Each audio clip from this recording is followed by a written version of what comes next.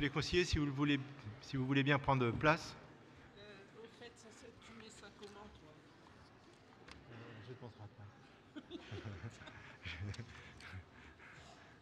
Sur le côté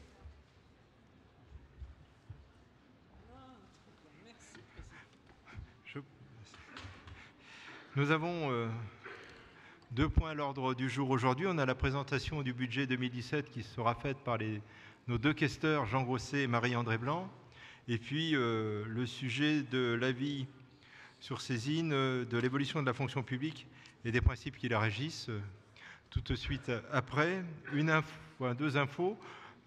D'abord, toutes les communications seront faites demain. Communications suite aux décisions du bureau seront faites demain ainsi que vous dire que les vœux auront lieu. Donc on vous donne rendez-vous dans la salle hypostyle donc après la séance plénière. Donc je vais appeler les deux questeurs, Marie-André et Jean Grosset, Marie-André Blanc et Jean Grosset, pour vous faire la présentation du budget euh, 2017. Marie-André Blanc est-elle là? Ah, je ne voyais pas. Ok, très bien.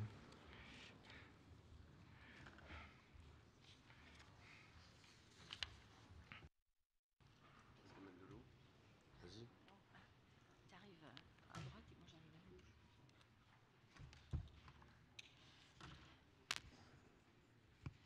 Eh bien, bonjour à tous et à toutes, bien évidemment. Donc, euh, budget 2016-2017. Donc, le budget total, on vous rappelle les chiffres de 2016, 38,18 millions d'euros. Et en 2017, notre budget, 39,51 millions d'euros.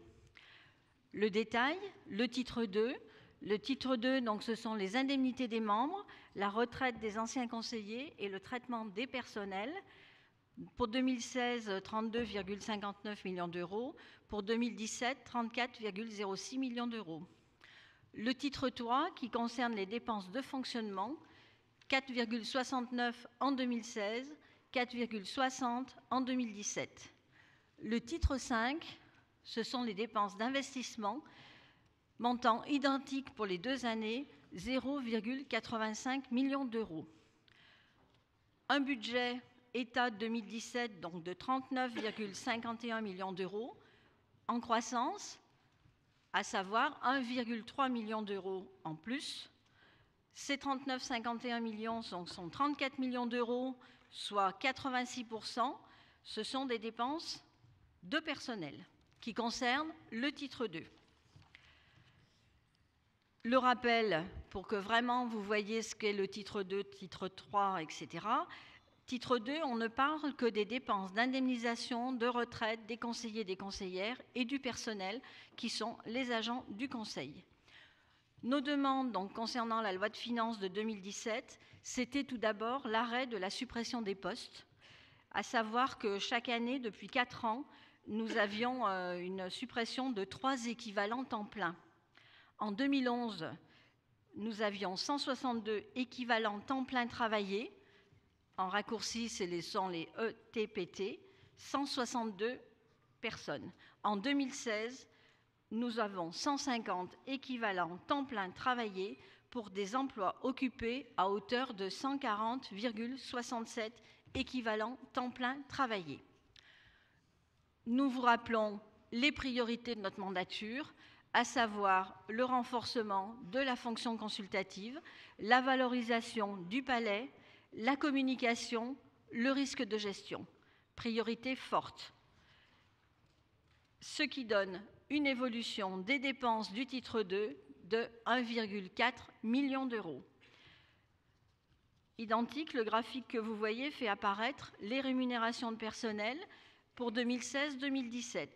2016, 12,63, 2017, 14,3, soit une augmentation en pourcentage de 13 points indemnité des membres et des personnes associées, 2016 12,2, 2017 12, soit une diminution de moins 2%, puisque nous n'avons pas le nombre euh, qui, nous était, euh, qui était prévu au départ. Hein, D'accord? Ce n'est pas que nous avons réduit les indemnités, c'est que le nombre de personnes est moins important. Quant au financement des budgétaires des retraites, pour 2016 et 2017, il est à valeur constante 7,76. Après avoir parlé du titre 2, il convient de parler du titre 3 qui concerne les dépenses de fonctionnement. Nous avons tenté, pour des raisons de clarté, de découper en pavés ces dépenses de fonctionnement. Vous avez un pavé qui se nomme Institution pour 245 000 euros. Le secrétariat général dispose d'un budget de 7 500 euros. Relations internationales, 73 000 euros. Fonctions consultatives, 336 000 euros. Dépenses de communication, 614 000 euros.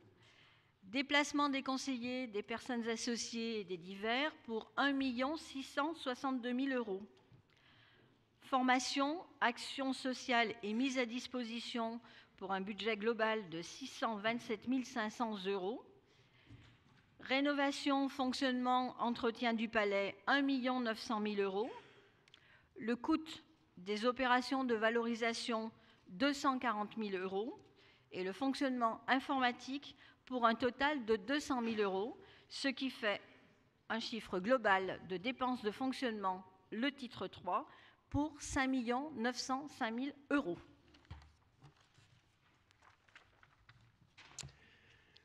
Bien, bonjour aussi à toutes et à tous. Euh, dans ce qui concerne maintenant les dépenses de fonctionnement, il ne vous a pas échappé qu'il y a tout de suite un différentiel entre les besoins que nous souhaiterions pouvoir euh, satisfaire et la dotation de l'État. Nous avons un déséquilibre de 1,3 million d'euros. Lorsque vous regardez, euh, je vais revenir sur cette question pour voir ce qu'on fait et les choix que l'on a faits. Ceci a été d'ailleurs présenté à vos représentants de groupe euh, dans le bureau euh, du Conseil. Lorsque l'on regarde maintenant des dépenses qui correspondent aux priorités de la mandature, une augmentation des dépenses de communication, ce que tout le monde a demandé, compte tenu que on vous souhaitait toutes et tous que les avis soient tout simplement bien mieux communiquer et bien mieux diffuser. Vous souhaitez aussi qu'un certain nombre de manifestations du CESE soient rendues grand public. Donc on a mis sur les relations presse euh, des moyens qui correspondaient à nos choix. Sur ce qui est convenu d'appeler la parole citoyenne, j'y reviendrai, il y a aussi la possibilité de travailler avec une pétition citoyenne, donc euh, quelqu'un qui gère cette question. Rétablir la dotation nécessaire pour les déplacements des conseillers et conseillères et des personnalités associées, si l'on souhaite que les gens soient plus présents, ce qui est le cas, vous le verrez, nécessairement, c'est quand même la mission du Conseil que les gens viennent à leur section et en plénière, donc ça coûte un peu plus d'argent. Et enfin, mettre en place des crédits afin de pouvoir accueillir des mises à disposition contre remboursement, c'est simplement que nous avons un certain nombre de femmes et d'hommes, agents du Conseil, qui sont mis à disposition dans d'autres administrations. Si toutes et tous souhaitent en même temps, c'est comme dans une banque, revenir en même temps au Conseil, eh nous devons faire face et nous provisionnons pour simplement les payer à partir du moment où ils arrivent, ce qui est d'ailleurs pour eux ou pour elles un droit dans euh, ce qu'il est convenu d'appeler l'investissement. L'investissement, euh, ne vous a pas échappé, peut-être que vous ne le savez pas toutes et tous, mais plus de la moitié de l'investissement de l'entretien du bâtiment, c'est à notre charge. Et on nous a fait savoir que si nous souhaitions ne pas être dans cet établissement, on pouvait aller ailleurs, mais que sinon, on devait prendre en, charge une partie de la rénovation et de l'entretien du bâtiment. Donc il y a des choses qui pour nous semblent peu discutables, L'accueil des publics, accessibilité, extension du classement ERP, vous savez ce que ça veut dire. Nous ne sommes pas équipés aujourd'hui pour accueillir correctement tout le monde, et notamment euh, un certain nombre de personnes qui auraient besoin de dispositifs pour être accueillis. Et euh, c'est en discussion, le secrétaire général le suit avec euh, les architectes, qui sont intraitables pour ne pas bouleverser l'œuvre de Perret, mais nous, nous devons être intraitables pour accueillir tout le monde ici dans des conditions dignes. Sécurisation accès parking, ça se passe de commentaires c'est un des endroits qui est le moins sécurisé, mais enfin c'est comme ça. Mise à niveau de la vidéosurveillance du palais. Chaîne de restauration, vous savez, parce que vous êtes euh, participant à la chaîne de restauration, c'est prévu, vous savez, c'est comme dans certains édifices publics, c'est prévu jusqu'au moment où il y a tout le monde en même temps. Donc euh, c'est des choses qu'il faut faire.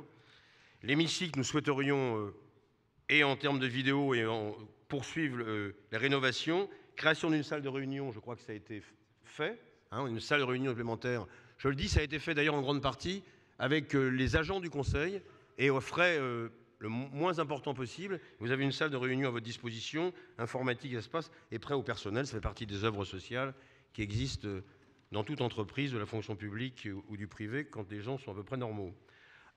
Ensuite, des recettes, nous avons donné une part qui revient dans le financement du Conseil à l'équilibre de la caisse de retraite. Venons-en maintenant au déséquilibre. Alors,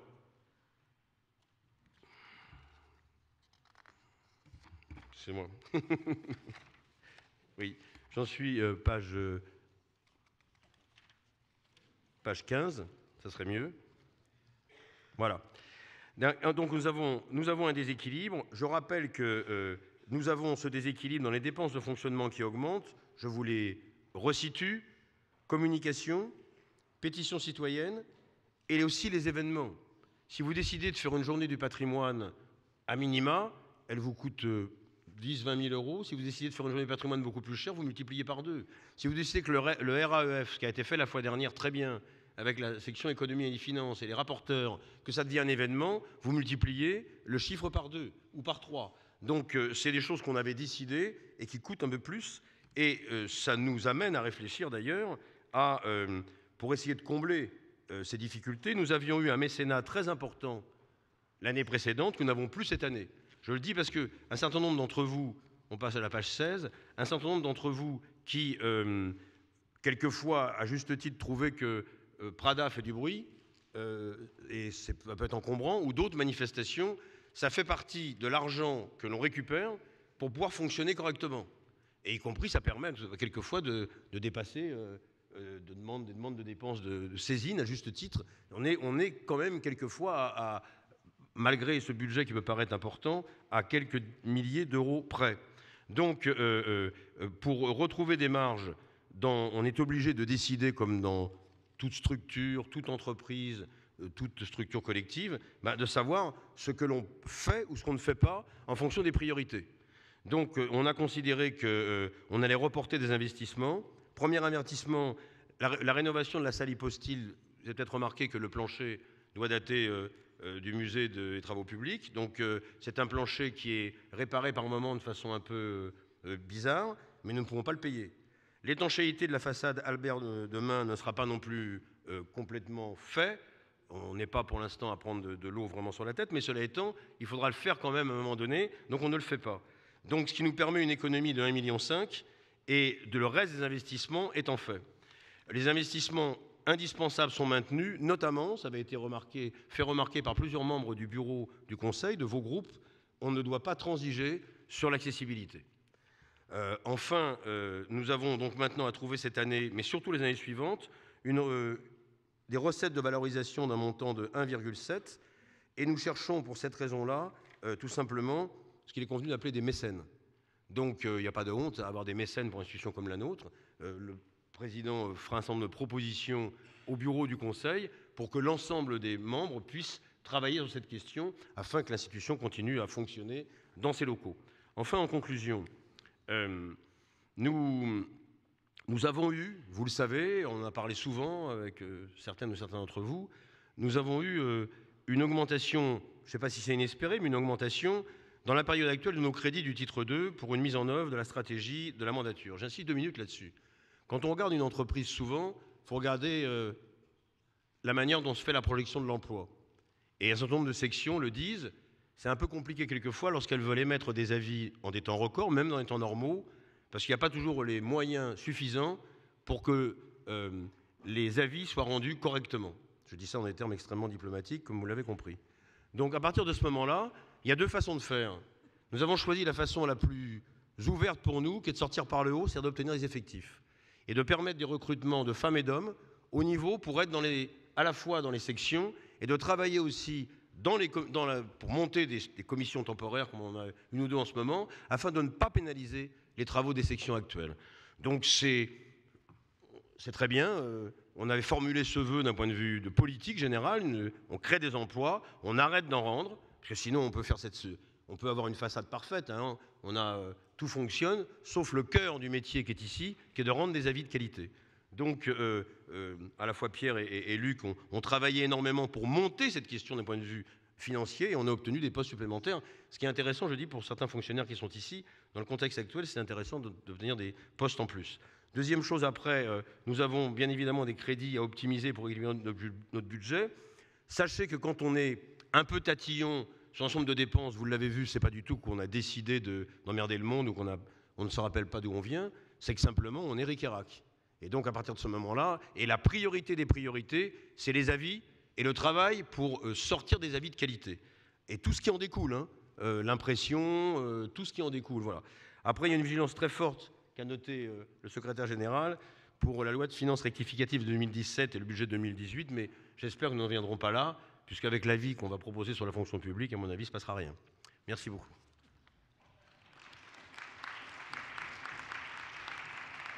Alors, peut-être, euh, je ne sais pas s'il y a des questions avant que les deux questeurs ne regagnent leur place. Il y a des questions concernant le, le budget. Le- les points importants, bon, vous avez compris que le, budget était quand même contraint, que sur l'investissement, on avait un sujet et qu'on chercherait évidemment à développer des opérations de mécénat, et si possible, des opérations de mécénat qui donneraient du sens à l'action du CESE. Donc, on va travailler le sujet euh, de façon très attentive.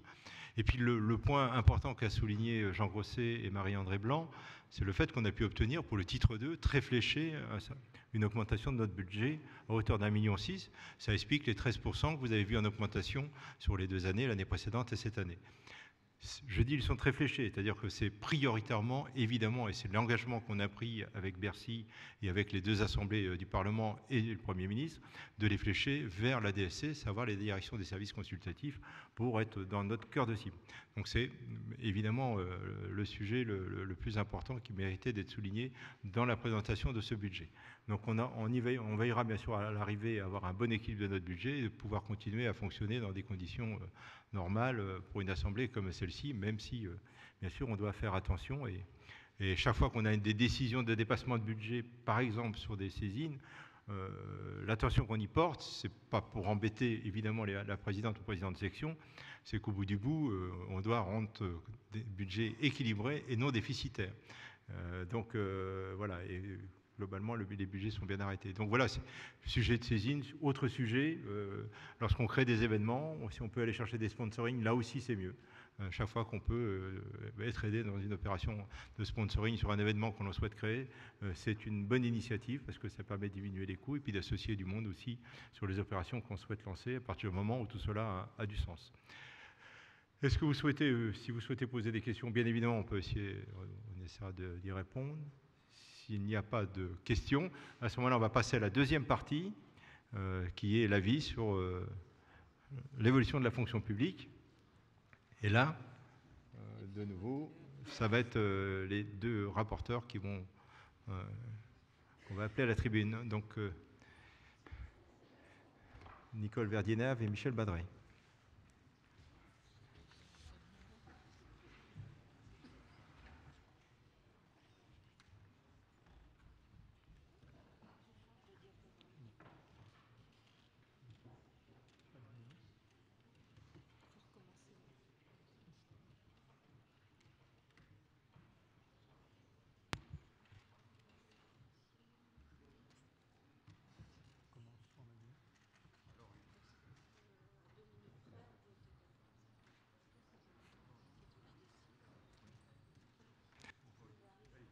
Oui, allez-y.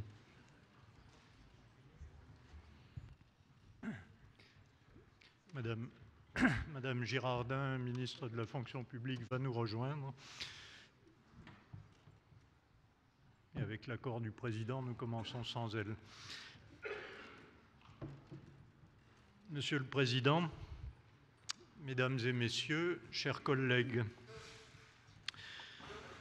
sur l'image qui est projetée à l'écran, vous voyez une infirmière, un policier, avec quelques autres personnes qui sont représentées ici et qui sont prêts à répondre aux attentes de leurs concitoyens.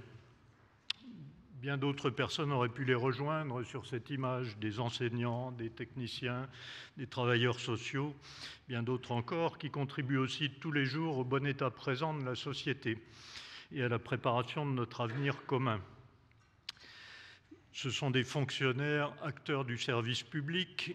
Ils ont l'universel comme but de leur activité essentielle, selon la belle formule du philosophe Hegel, bien connu dans ses murs, puisqu'il était professeur à Iéna. Plus prosaïquement, toutes ces personnes œuvrent toutes, avec bien d'autres, en dehors de la fonction publique, à la satisfaction de l'intérêt général. Responsable des directives et des moyens qu'il donne à la fonction publique pour faire face aux mutations radicales de notre société, le gouvernement a interrogé notre Conseil sur les évolutions souhaitables de la fonction publique à moyen terme. Le projet d'avis qui est soumis aujourd'hui à notre Conseil vise à répondre à cette saisine. Sa particularité est d'avoir été préparé par une commission qui est constituée de représentants de tous les groupes de cette Assemblée, qui ont été éclairés par des auditions multiples et notre avis n'est pas l'expression des deux rapporteurs que nous sommes, c'est l'expression de la Commission sur ce qui devrait être consolidé et aussi sur ce qui devrait être transformé pour que la fonction publique apporte au public un service toujours meilleur et qu'elle s'adapte aux enjeux de transformation qui s'imposent à elle. C'est cette expression collective qui fait la force de la vie différence-là d'avis d'experts, comme il y en a eu plusieurs au cours des années écoulées, souvent de très grande qualité. Nous serons amenés à citer le rapport de Bernard Pêcheur ou celui de Jean-Ludovic Silicani, qui exprimait les avis de leur auteur. Celui-ci est l'avis de la commission qui a contribué à le fabriquer. À ce propos, nous souhaitons ici remercier très chaleureusement, ce n'est pas une simple formule de politesse, nos collègues membres de la commission temporaire et son président Jean Grosset, en effet, pour parvenir à l'expression commune de points de vue sur des sujets qui étaient souvent sensibles, nos échanges ont toujours été constructifs, ils ont été marqués par l'écoute et le respect mutuel. Pour lancer la réflexion, nous allons écouter Anicet Lepors, ancien ministre de la fonction publique, qui été à l'origine des lois du début des années 80 et qui nous invite à regarder vers l'avenir et pas vers le passé. Écoutons-le. Je pense que le XXIe siècle sera l'âge d'or du service public, c'est-à-dire que dans la fonction publique, je crois, s'appliqueront avec le champ le plus large et le plus convaincant possible les nouvelles technologies.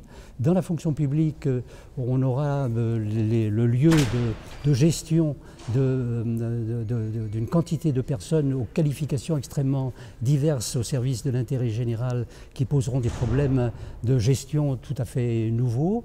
Euh, dans la fonction publique, on recouvrira de plus en plus des fonctions euh, relevant de l'intérêt général comme la santé, les transports, l'éducation, etc., qui demanderont à être aménagées, mais qui répondent toujours à des besoins fondamentaux. Nous allons donc regarder d'abord les principes sur lesquels est fondée la fonction publique, aussi ceux sur lesquels est fondé le service public. Nous reviendrons sur la relation entre les deux. Nous serons amenés ensuite à présenter les enjeux que nous avons examinés dans la commission et enfin le diagnostic que nous en avons tiré. Un mot de précision d'abord sur trois notions proches mais non superposables, la fonction publique, le service public, l'intérêt général. Je commence par l'intérêt général qui est la façon de répondre à des besoins collectifs de la société. Cet intérêt général, il peut être satisfait par le service public à l'initiative des pouvoirs publics, État et collectivités. Il peut aussi être satisfait par bien d'autres euh, solutions, des instances publiques ou privées, des personnes morales ou physiques qui se consacrent à l'intérêt général. Le service public lui-même, piloté par les pouvoirs publics, peut être satisfait par la fonction publique qui est à sa disposition. Il peut aussi être satisfait par d'autres organismes ou d'autres personnes qui bénéficient de délégations de services publics. Notre mission porte sur la fonction publique, mais elle amène à s'interroger aussi sur les principes du service public. Ces principes du service public ont été inscrits dans la loi euh, depuis principalement le statut de la, le statut de la fonction, le statut, des, le statut général des fonctionnaires, pardon. Nous avons eu un débat sur ces termes euh, en 1945, repris par les lois du début des années 80.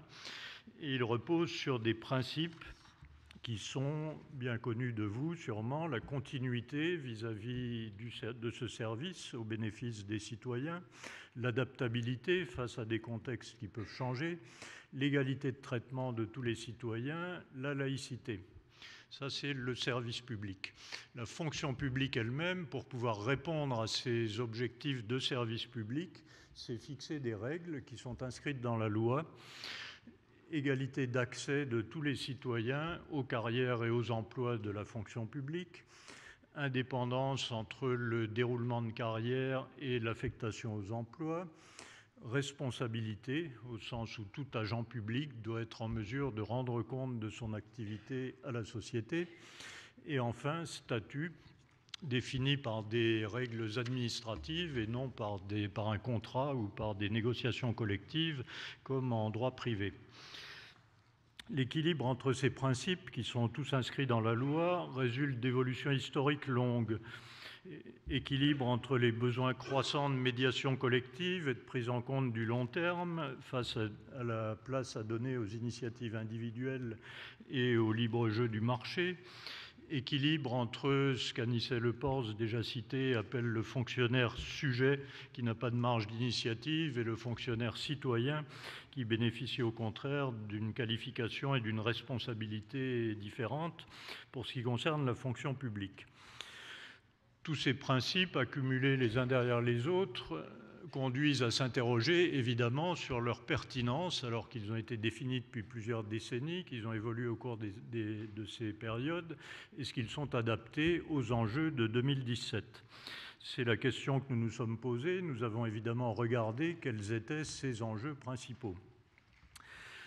Notre commission était bien sûr à l'écoute des débats de la société et ça l'a conduit à s'interroger sur le poids de la fonction publique dans le budget de l'État et dans celui des collectivités. Cette question ne figurait pas explicitement dans la saisine, mais nous avons estimé que nous ne pouvions pas la contourner. Nous avons beaucoup débattu à l'intérieur de la Commission sur ce point et nous avons estimé que la question du poids de la dépense publique en matière de fonction publique ne pouvait pas être traitée de façon isolée, que la durabilité ou la soutenabilité, les deux termes ont été utilisés, des politiques publiques qui étaient affirmées dans son principe par tout le monde, devaient trouver là une application très forte. Elle suppose que soient traités conjointement et pas successivement ou séparément les enjeux économiques et budgétaires, les enjeux sociaux et les enjeux environnementaux. En privilégier un, quel qu'il soit, dans les décisions de politique publique, ne pourrait que conduire à des mécomptes éventuellement graves dans chacun des deux autres. C'est ce qui nous a conduit à proposer une démarche globale sur laquelle nous reviendrons, fondée sur la définition des missions et des objectifs de la fonction publique par domaine d'action. Elle devra intégrer tous les enjeux de dépenses publiques, bien sûr, les enjeux d'efficacité économique, les enjeux de cohésion sociale, les enjeux de qualité environnementale. Nous y reviendrons à propos de la méthode dans un instant. Pour éclairer cette démarche, notre commission a réfléchi à quelques-uns des enjeux auxquels nous étions confrontés, auxquels la société était confrontée, je les ai déjà évoqués, cohésion sociale, sécurité, performance économique des acteurs en cause, avec les liens avec la, avec la situation de l'emploi, santé publique, préservation de l'environnement à moyen ou long terme. Elle s'est aussi interrogée sur des transformations de contexte extrêmement présentes, notamment la révolution numérique dont tout le monde parle à juste titre, et les évolutions démographiques ou territoriales qui marquent euh, la vie de notre société à partir de tout ce paysage très complexe, euh, nous nous sommes demandé quelle était l'image que la fonction publique renvoyait vers la société.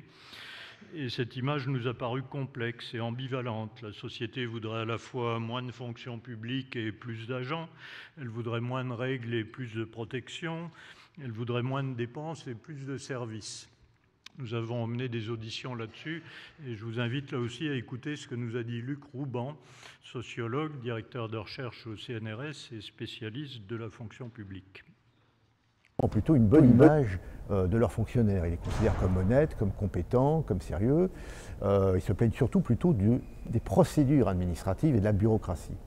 Et par rapport aux autres pays européens, euh, en termes de qualité, quand on mesure, quand on dispose euh, de, mesures internationales et d'enquêtes internationales, on voit que la France est dans le haut du panier en, termes de qualité de service public et de fonction publique. Le paysage est complexe, mais la fonction publique est adaptée à la complexité. Elle conjugue dans ses principes la continuité, l'adaptabilité, l'égalité de traitement et la prise en compte de situations particulières, les garanties du statut et l'obligation de répondre à ses actions. Et grâce à ces mécanismes assez complexes, elle a su faire face jusqu'ici à des exigences difficiles. Notre commission a estimé que ces principes, qui étaient issus de l'expérience acquise depuis des décennies, restaient adaptés aux enjeux actuels. Nous n'étions pas les premiers à le dire. Écoutons Bernard Pêcheur dans le rapport de 2013 qu'il a consacré à la fonction publique. Qui sont protégés par un statut, qui est un statut qui vise à assurer, je dirais, leur indépendance, leur loyauté, et qui est d'abord fait pour euh, protéger, j'allais dire, les citoyens et les usagers, plus que les fonctionnaires eux-mêmes. Il faut inverser la problématique, qui est souvent mal posée. Ce statut est pertinent. Euh, il a été créé à la Libération pour, euh, en poursuivant plusieurs objectifs. Le général de Gaulle et les créateurs du statut voulaient une fonction publique intègre, ils voulaient une fonction publique loyale, ils voulaient une fonction publique compétente. Ces objectifs ont été atteints.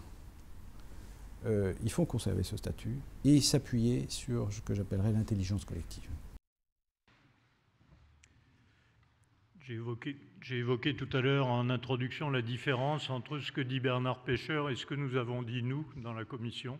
Il n'y a pas de différence sur le fond, il y a une différence dans le fait de savoir qui le dit. Euh, pour nous, c'est une commission constituée de représentants de tous les groupes du CESE nommés dans cette commission. C'est différent, c'est pas mieux ni moins bien, mais c'est différent de ce que dit Bernard Pêcheur tout seul si ce principe statutaire nous a paru être le garant de l'équilibre entre la dépendance au pouvoir politique et la responsabilité citoyenne, il a un corollaire immédiat qui est l'autre principe écrit dans la loi aussi, qui est le principe d'adaptabilité. Et l'ensemble de nos préconisations, que nous vous détaillerons tout à l'heure et que Nicole reprendra plus en détail, repose sur l'articulation entre ces deux principes, confirmation du principe statutaire et des autres règles applicables, et adaptabilité euh, à des situations et des contextes qui sont évidemment profondément changeants. J'ai déjà évoqué tout à l'heure que la base de la réflexion que nous proposons et de la feuille de route dont vous voyez à l'écran en ce moment qu'elle repose sur plusieurs étapes ou plusieurs éléments euh, conjoints. D'abord une définition des missions sur laquelle je vais vous dire un mot pour conclure ma propre partie. Ensuite, des mesures sur le management et la GRH, les concertations internes ou externes, l'innovation, que vous détaillera Nicole Verdienave. À propos des missions, nous avons estimé que cette définition de mission était importante, en particulier sur un point qui était de donner du sens à la fonction publique et à son action, aussi bien pour les fonctionnaires qui ont évidemment besoin de ce sens que pour la société à laquelle ils s'adressent qui en ont aussi besoin. La diversité de ces domaines d'action, la nature des enjeux nous ont conduit à proposer de préparer ces décisions, les décisions politiques qui sont à prendre dans une démarche très structurée. Il ne s'agit pas d'improviser cette définition de mission. La première étape de cette démarche, pour nous, devrait être une réflexion prospective, complète. La prospective, c'est un métier, ça se fait sérieusement, portant sur les enjeux, les conséquences des décisions envisageables, de façon à clarifier le paysage.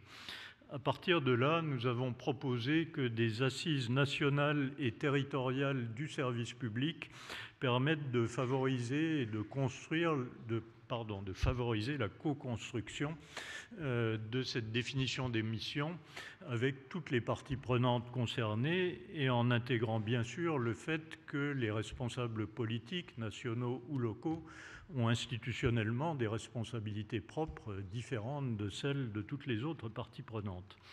Nous avons estimé aussi que le Conseil national de la fonction publique, qui a été mis en place en 2014, mais dont les prérogatives ne sont pas encore totalement stabilisées, pourrait permettre de vérifier en continu l'adaptation des missions aux besoins des territoires et à leur évolution.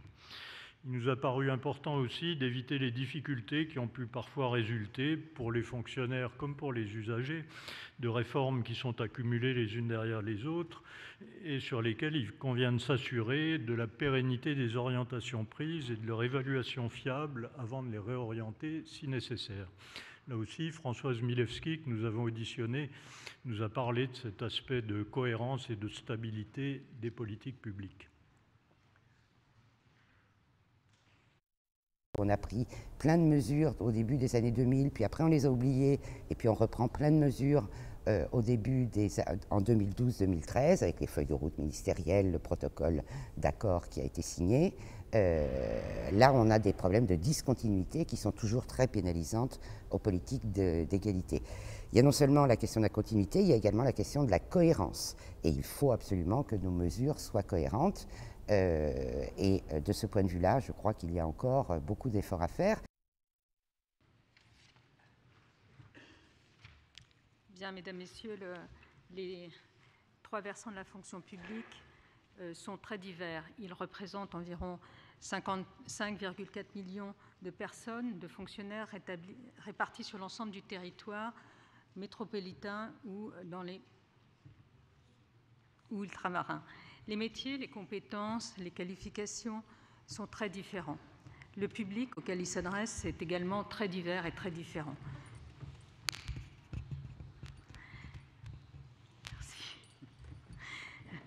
Dans cette situation de grande complexité, le management et la gestion des ressources humaines euh, revêtent désormais une importance considérable.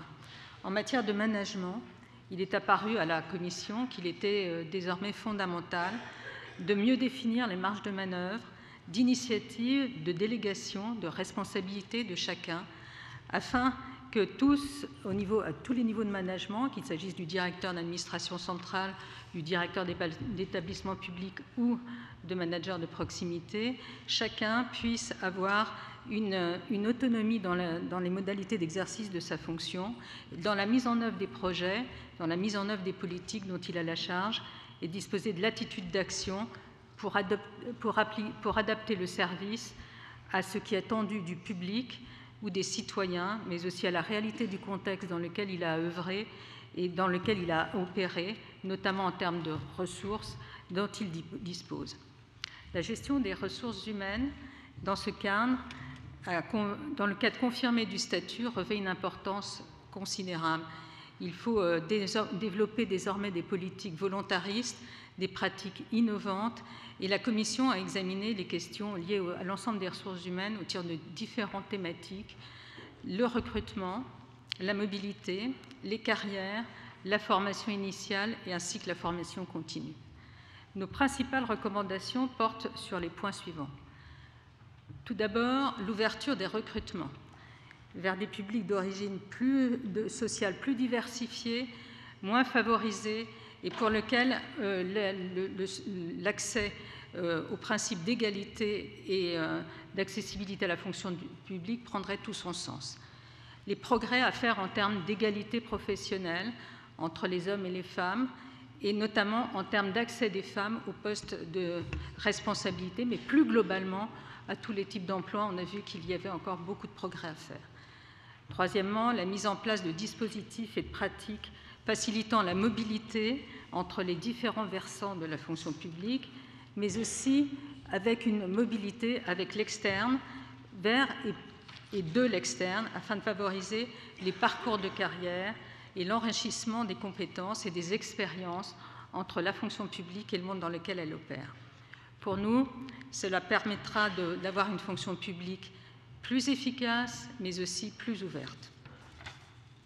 Les nominations sur les postes d'emploi de la haute fonction publique nous ont semblé aussi devoir être euh, intégrées désormais des aptitudes au management. C'est conforme à ce que je disais tout à l'heure, des marges d'initiative qui doivent aussi euh, être prises en, en, œuvre par les managers et donc au moment de leur accès à des postes de responsabilité, il conviendra désormais de regarder les aptitudes au management. La recherche d'une diversité dans cette haute fonction publique, plus représentative de la société, sera une des conditions de son acceptabilité, avec des possibilités désormais d'intégration à des postes en cours de carrière par des gens qui ne sont pas issus de la fonction publique. La définition et la clarification de politique de l'emploi relative aux personnes non titulaires, situation prévue, qui est prévue par le statut, mais qui nécessite d'être mieux suivie et d'être pilotée dans la durée. Nous avons pu constater qu'au fil des ans, les politiques dans ce domaine pouvaient être variables avec des allers-retours parfois préjudiciables.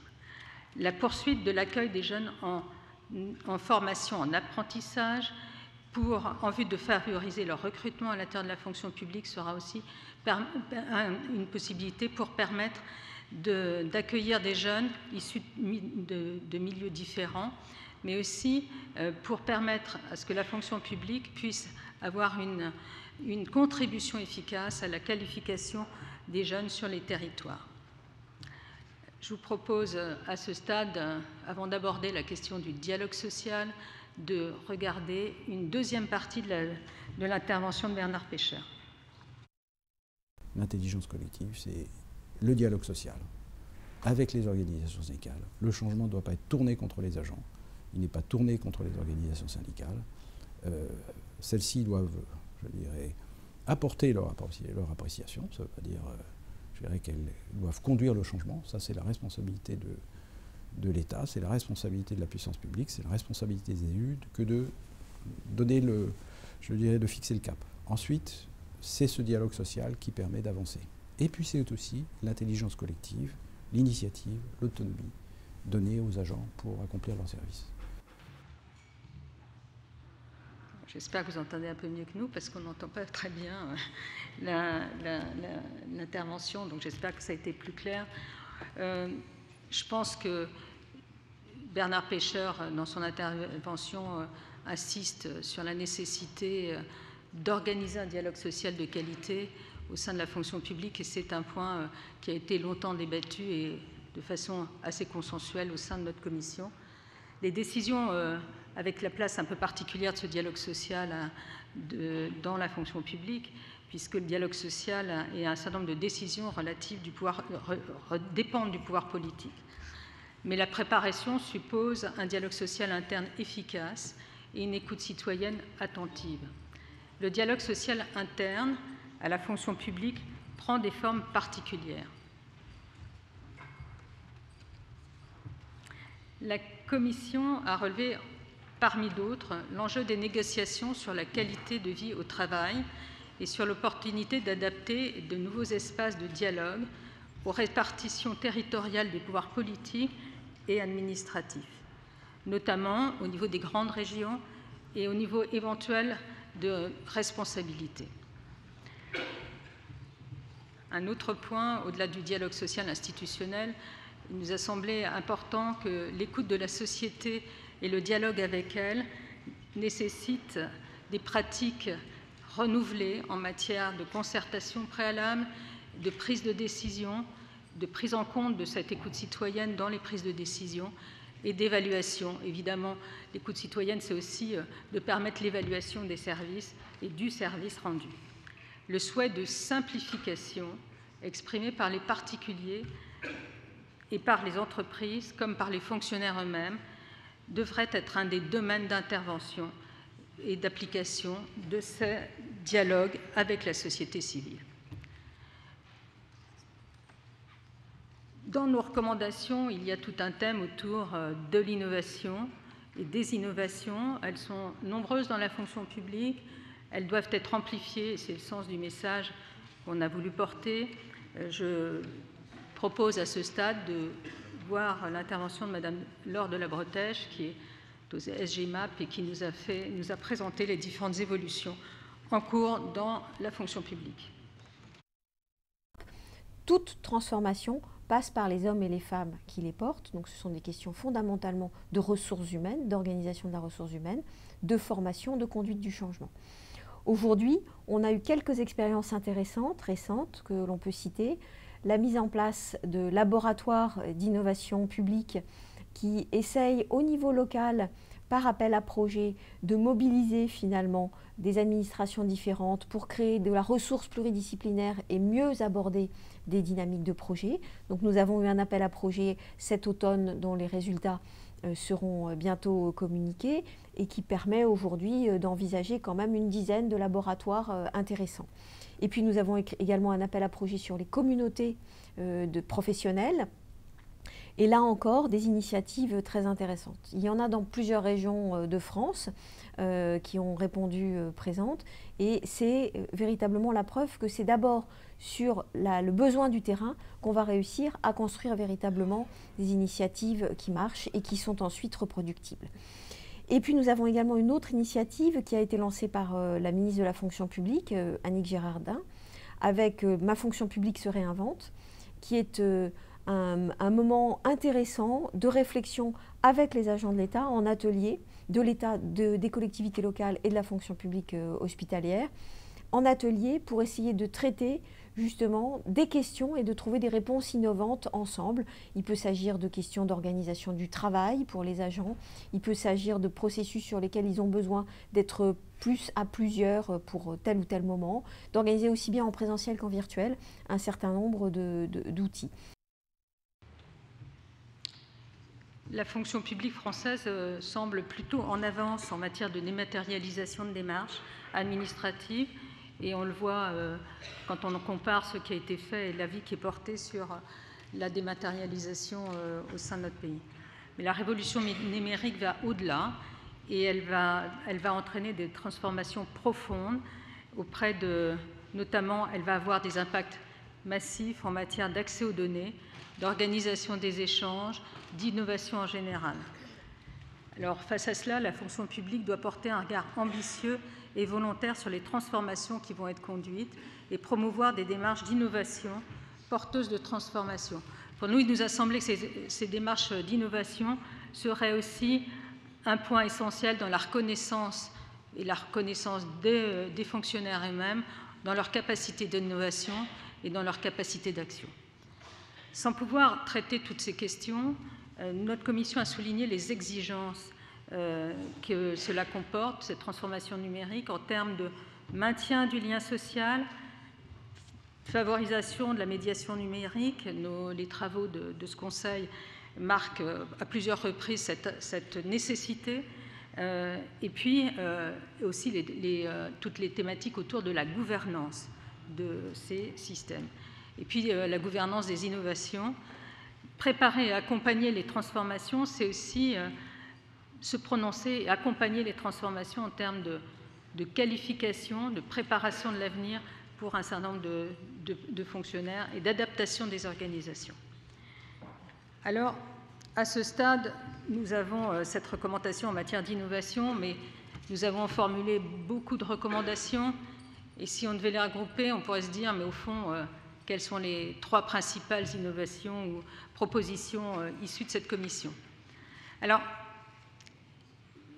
Michel l'a dit tout à l'heure, euh, l'intérêt de notre commission, c'est de regrouper en son sein euh, différentes parties prenantes, d'être une expression collective de la société représentative et représentative de l'ensemble des groupes du CESE et donc de la société civile organisée. C'est l'expression de la société civile organisée autour d'un thème qui fait débat, qui est euh, au cœur de, débats euh, politiques actuels autour de la fonction publique. Alors si je devais retenir trois recommandations, qui sont euh, l'expression collégiale de notre commission et pour lesquelles cela n'allait pas de soi au début, je les regrouperai autour de, premièrement, la définition par le pouvoir public politique pardon, des euh, missions. Et c'est un point euh, tout à fait fondamental pour nous que de définir les objectifs de la fonction publique en préalable à d'autres décisions et euh, décisions la concernant et aussi d'entamer une démarche intégrant les différents aspects que sont les enjeux économiques, sociaux et, environnementaux. nos préconisations sont d'associer plus et de définir le cadre dans lequel la fonction publique doit, intervenir. Le deuxième point, euh, c'est la confirmation des principes fondateurs de cette fonction publique, y compris l'emploi le, statutaire. Donc euh, c'est un point qui a fait euh, également débat, mais aussi consensus. Ils sont garants pour nous de la responsabilité et dans la bonne exécution des missions de la fonction publique. On l'a dit, ce principe statutaire va avec un corollaire qui est évidemment la mise en place de politiques de gestion des ressources humaines dynamiques et innovantes. Troisième point, la nécessité, au titre de principe d'adaptabilité, d'avoir des mesures claires sur euh, le management à tous les niveaux d'encadrement et sur les recrutements, plus ouverts avec des mobilités facilitées et accompagnées sur des pratiques de dialogue social et de concertation externe plus efficaces. À ce stade, euh, je voulais euh, vous remercier de votre attention, mais remercier euh, les membres de la Commission pour les apports extrêmement constructifs qui ont été faits au sein de nos et par les échanges que nous avons eus. Nous avons pu confronter nos points de vue, aboutir à des propositions, mettre en, mettre en lumière certains aspects qui nous opposaient parfois, mais sur lesquels nous avons obtenu des consensus. Je souhaiterais euh, également à ce stade euh, remercier euh, et apporter une, attention particulière pour l'administration de la section, Nathalie Weiss, Xavier Guillard et Nathalie Ravion, qui nous ont assistés tout au long de ce travail. Merci pour leur engagement et leur professionnalisme, professionnalisme et engagement déterminé pour faire aboutir les travaux de notre commission. Merci aussi à tous ceux de la Commission qui ont contribué à la rédaction de, cet avis dans le contexte et dans la rapidité dans laquelle on a été amené à l'exprimer. Je vous remercie à tous. Merci Madame la Ministre de votre attention.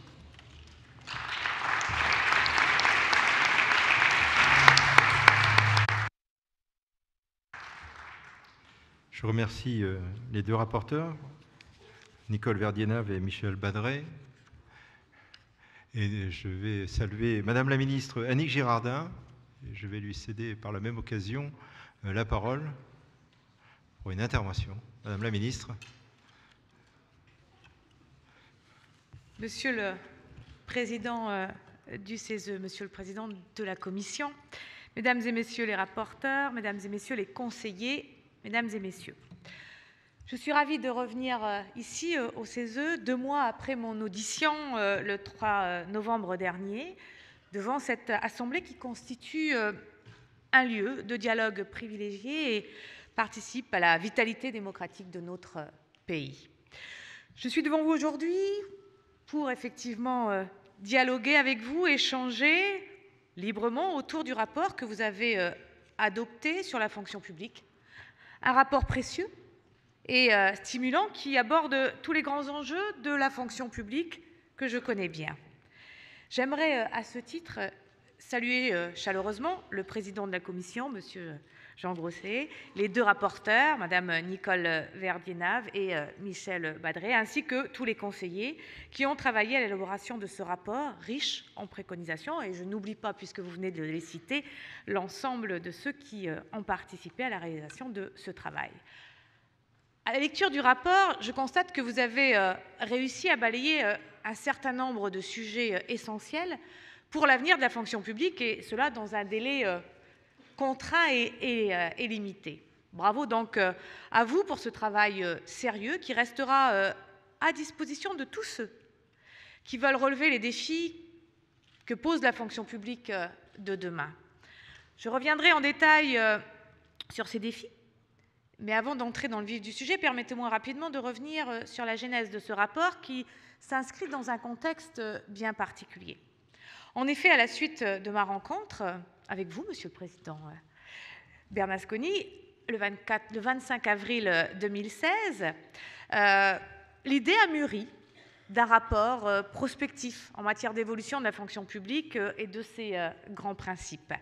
C'est ainsi donc que le 25 juillet 2016, le Premier ministre a saisi officiellement le CESE pour euh, mener cette euh, réflexion et préparer euh, l'ambitieux rapport que vous présentez aujourd'hui. Ce travail portait un double ou, avait une double vocation. En premier lieu, il devait répondre à un climat, un climat de défiance persistant vis-à-vis -vis de la fonction publique et plus généralement des fonctionnaires qui la font vivre.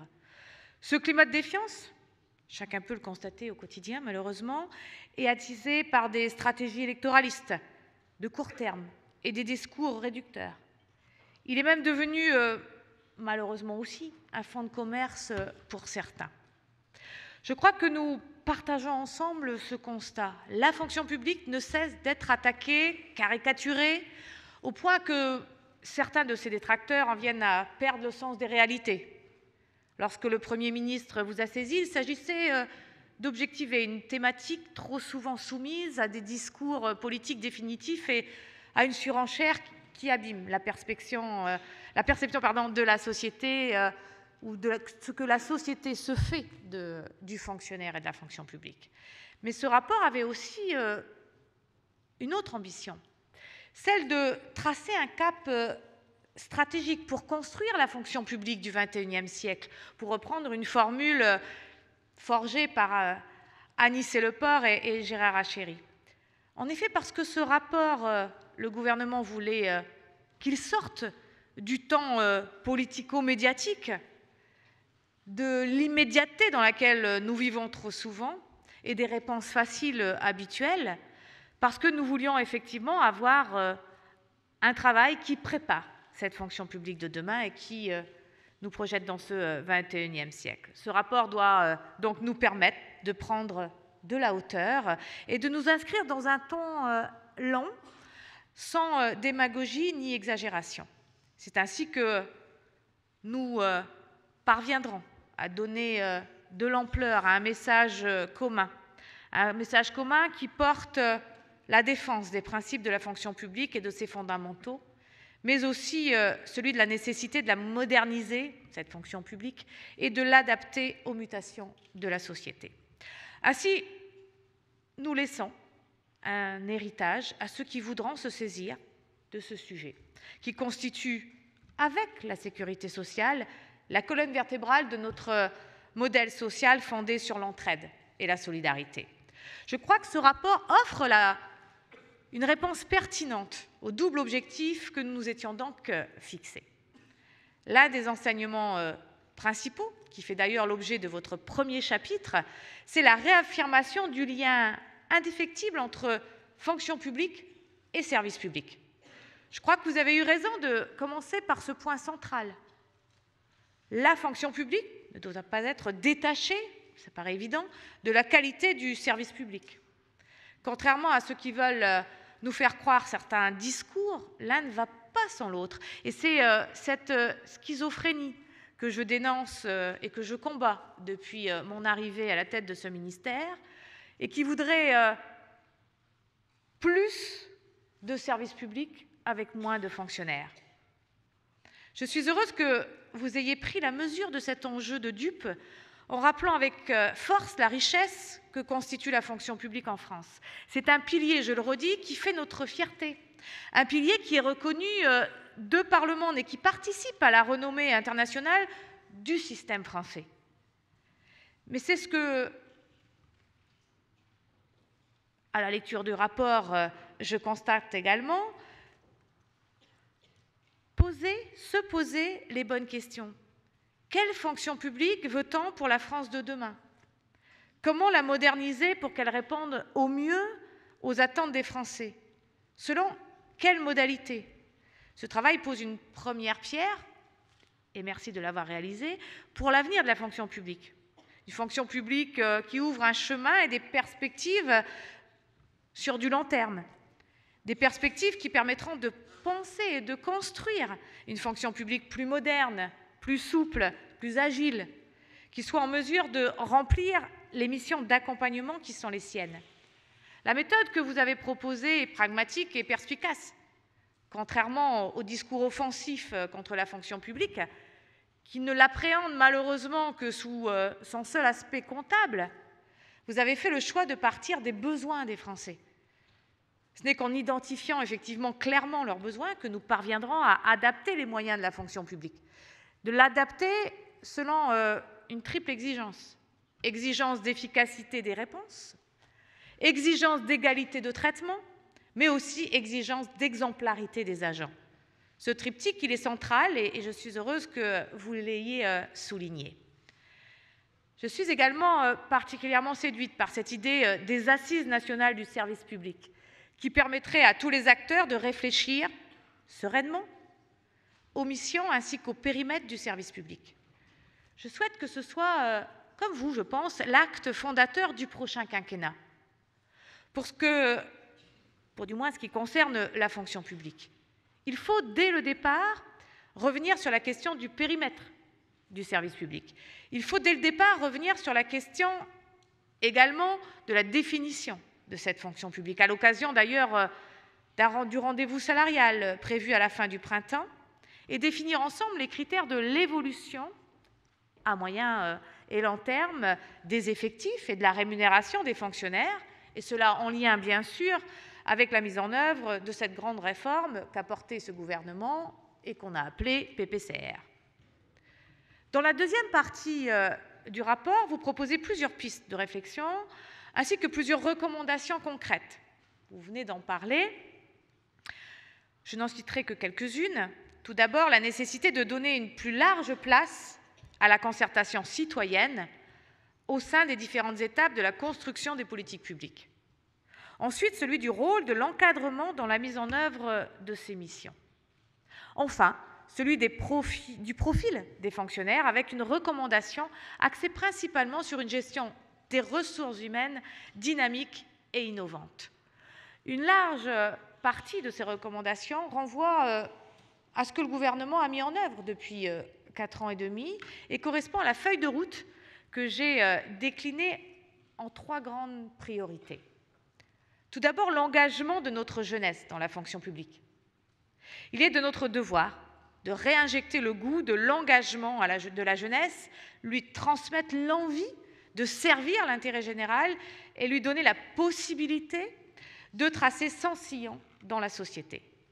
Un aspect euh, prioritaire de ce chantier concerne la diversité dans la fonction publique. Il s'agit de répondre, bien sûr, au constat fait par le rapport Lorty sur l'accès à la fonction publique, euh, qui pointe le fait que des discriminations euh, persistent encore beaucoup trop dans cette fonction publique.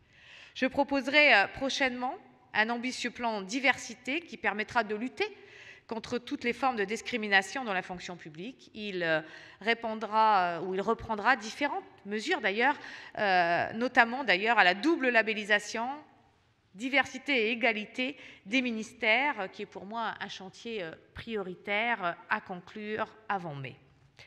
La deuxième priorité, c'est le respect de la laïcité qui est la condition même de la neutralité de l'État.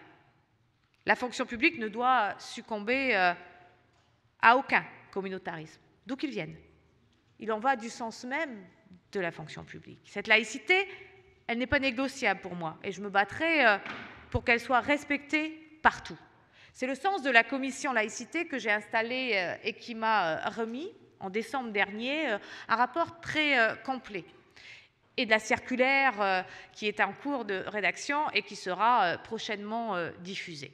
Nous devons apporter des réponses concrètes pour faire vivre ce principe dans le quotidien des services publics, et ceci sans aucune concession. Enfin, ma troisième priorité est de faire prendre à la fonction publique le tournant de l'innovation. Je l'avais évoqué devant vous le 3 novembre dernier. Depuis 30 ans, le service public a beaucoup évolué sous l'effet de la décentralisation et de la révolution numérique. Face aux transformations du monde, la fonction publique ne peut pas euh, rester statique. Elle doit s'adapter afin que le service public soit plus efficace et davantage euh, aux prises avec les attentes de nos concitoyens. C'est pourquoi il était important de penser avec les partenaires sociaux, avec euh, les employeurs publics, mais aussi avec vous, les moyens de mieux répondre aux besoins des usagers et de nos agents de la fonction publique. Car c'est bien en mettant l'agent au cœur de notre euh, réforme que euh, la fonction publique euh, saura se réinventer. C'est le sens de la consultation, le cycle de conférences que j'ai lancé qui s'intitulait Ma fonction publique se réinvente et que j'ai conduit tout toute l'année dernière et qui va nous emmener à une séance de restitution le 7 euh, mars prochain. Cette ambition euh, vaut particulièrement pour l'État. Et en tant que premier employeur de France, nous devions mettre l'innovation au cœur de nos problématiques, comme d'ailleurs la question des ressources humaines. Et c'est l'ambition de la DRH État et de la stratégie interministérielle des ressources humaines que nous allons euh, discuter avec les partenaires sociaux dès euh, la semaine prochaine. Voilà, ces trois axes irriguent votre rapport et font également écho à des sujets euh, sur lesquels j'avais particulièrement insisté lorsque vous m'aviez auditionné en novembre. Les relations hiérarchiques, l'innovation managériale, la promotion d'un environnement de travail épanouissant, l'impact de la révolution numérique. Tout cela est la preuve que nous sommes euh, sur la même longueur d'onde. Ce qui me réconforte, bien sûr, comme l'ensemble de mon équipe qui travaille euh, depuis de nombreux mois, mais qui euh, réconforte aussi l'ensemble de l'action qui est menée dans le cadre de, des missions qui nous ont été confiées par le Premier ministre. Il me reste quatre mois. Quatre mois à la tête de ce ministère de la fonction publique et j'ai bien l'intention de mener les chantiers jusqu'au bout. Je pense notamment euh, au développement de l'apprentissage. Nous avons euh, visé 10 euh, 000 apprentis dans la fonction publique avant la fin de ce quinquennat. Nous y serons. Ou encore le fait de demander aux écoles de formation des cadres, et je vais sur le terrain les rencontrer régulièrement, de consacrer une place plus large aux relations professionnelles. Mesdames et messieurs les conseillers, le premier travail que vous avez fourni nous offre des perspectives euh, engageantes pour l'avenir. Nous partageons les mêmes convictions fortes, celles d'une fonction publique qui doit se reposer euh, ou reposer sur ses grands principes et notamment sur son statut. Mais bien sûr, une fonction publique qui doit aussi évoluer, se transformer et s'adapter, toujours en partant de sa base. Et si je peux euh, avoir un dernier message pour cette Assemblée, j'aimerais prendre un peu de hauteur en rappelant que la modernisation de la fonction publique s'inscrit dans un cadre plus global, celui d'un monde en pleine mutation, celui d'un monde qui fait face ou qui doit faire face à des défis qui dépassent les frontières euh, étatiques. Et plus d'un an après l'adoption des objectifs de développement durable, les ODD, à New York, plus d'un an après la signature de l'accord de Paris sur le climat, la COP 21, nous avons à mettre en œuvre cet agenda mondial et universel qui allie croissance et développement soutenable. La France doit être au rendez-vous de ces engagements, tout comme la fonction publique, puisqu'elle est euh, la colonne vertébrale de tous ces engagements et celle qui pourra mettre en œuvre sur le terrain l'ensemble des engagements euh, que la France a pu prendre. Sans doute que c'est mon regard de l'ex-secrétaire d'État au développement et la francophonie qui fait qu'il est indispensable pour moi que cette fonction publique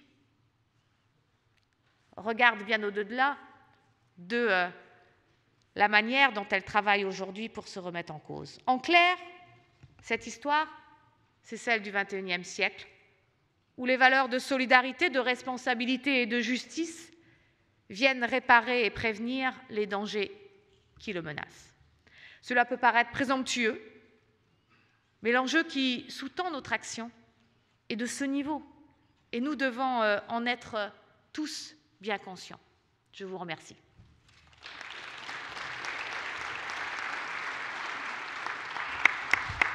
Je remercie Madame la Ministre Annick Girardin, ministre de la Fonction publique. je vais appeler à la tribune Monsieur Luc Berry pour le groupe de l'UNSA.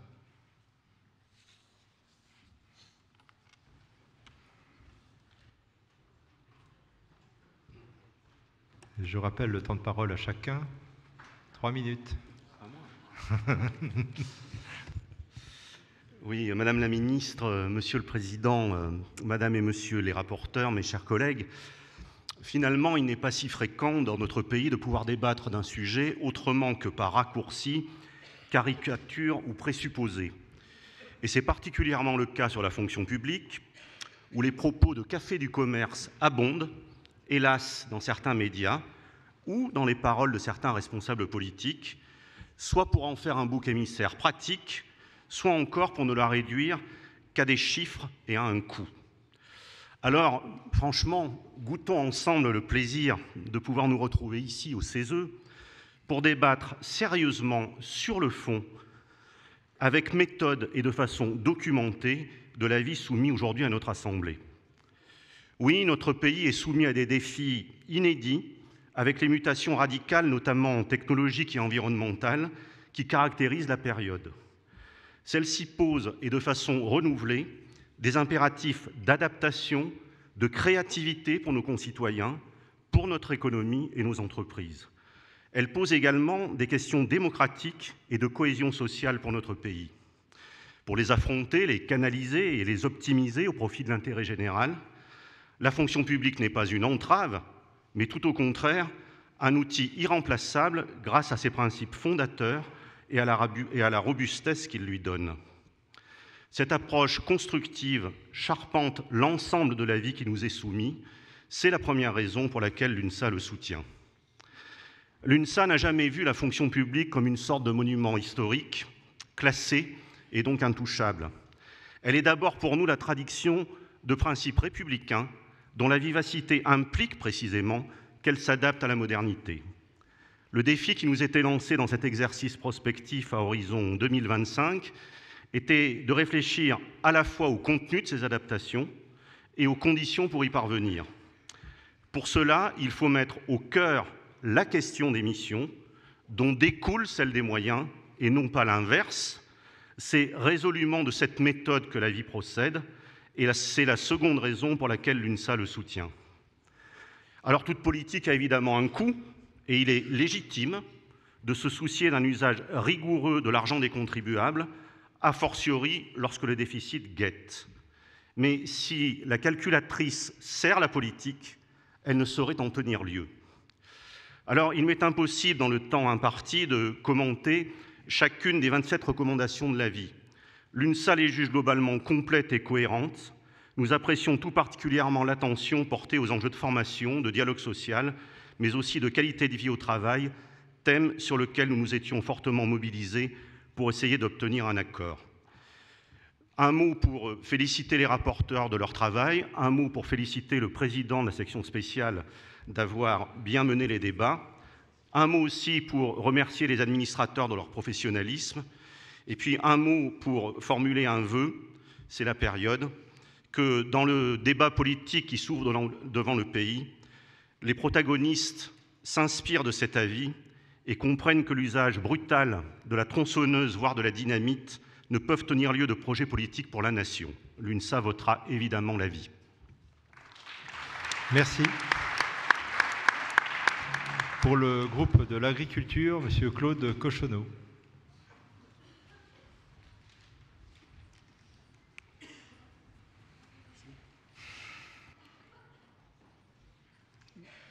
Madame le ministre, euh, Monsieur le Président, Mesdames, Messieurs les rapporteurs, Mesdames, Messieurs, mes chers collègues, notre Assemblée a été saisie sur un sujet qui nous concerne tous en tant que citoyens et par conséquent en tant que représentants de la société civile.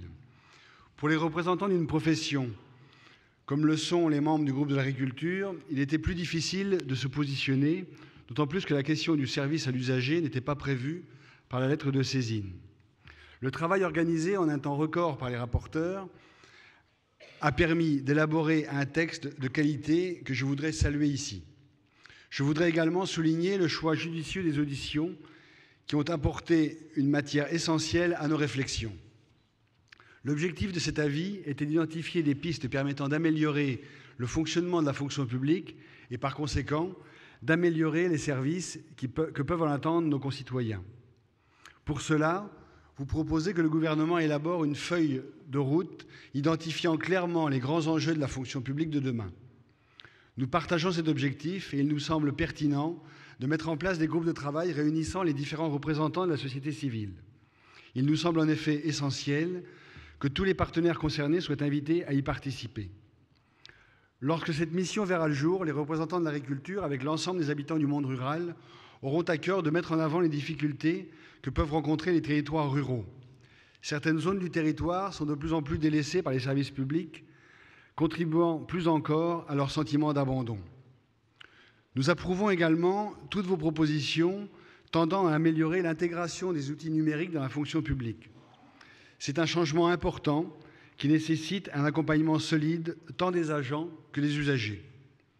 Nous avons entendu lors des auditions les intervenants nous exposer les efforts engagés par, par les fonctionnaires pour améliorer leur travail d'une manière générale. Nous regrettons toutefois que malgré des appels incessants à une simplification des procédures, on aboutisse le plus souvent qu'à une complexification. Les process sont sans doute eux-mêmes de plus en plus complexes dans la gestion de la fonction publique. C'est un défaut, voire un mal français qu'il faudrait corriger et pour lequel nous devrions tous, à tous les niveaux, nous engager. Le groupe de l'agriculture se prononcera en faveur de cet avis. Merci. Madame Christelle Tessèdre pour le groupe de l'artisanat.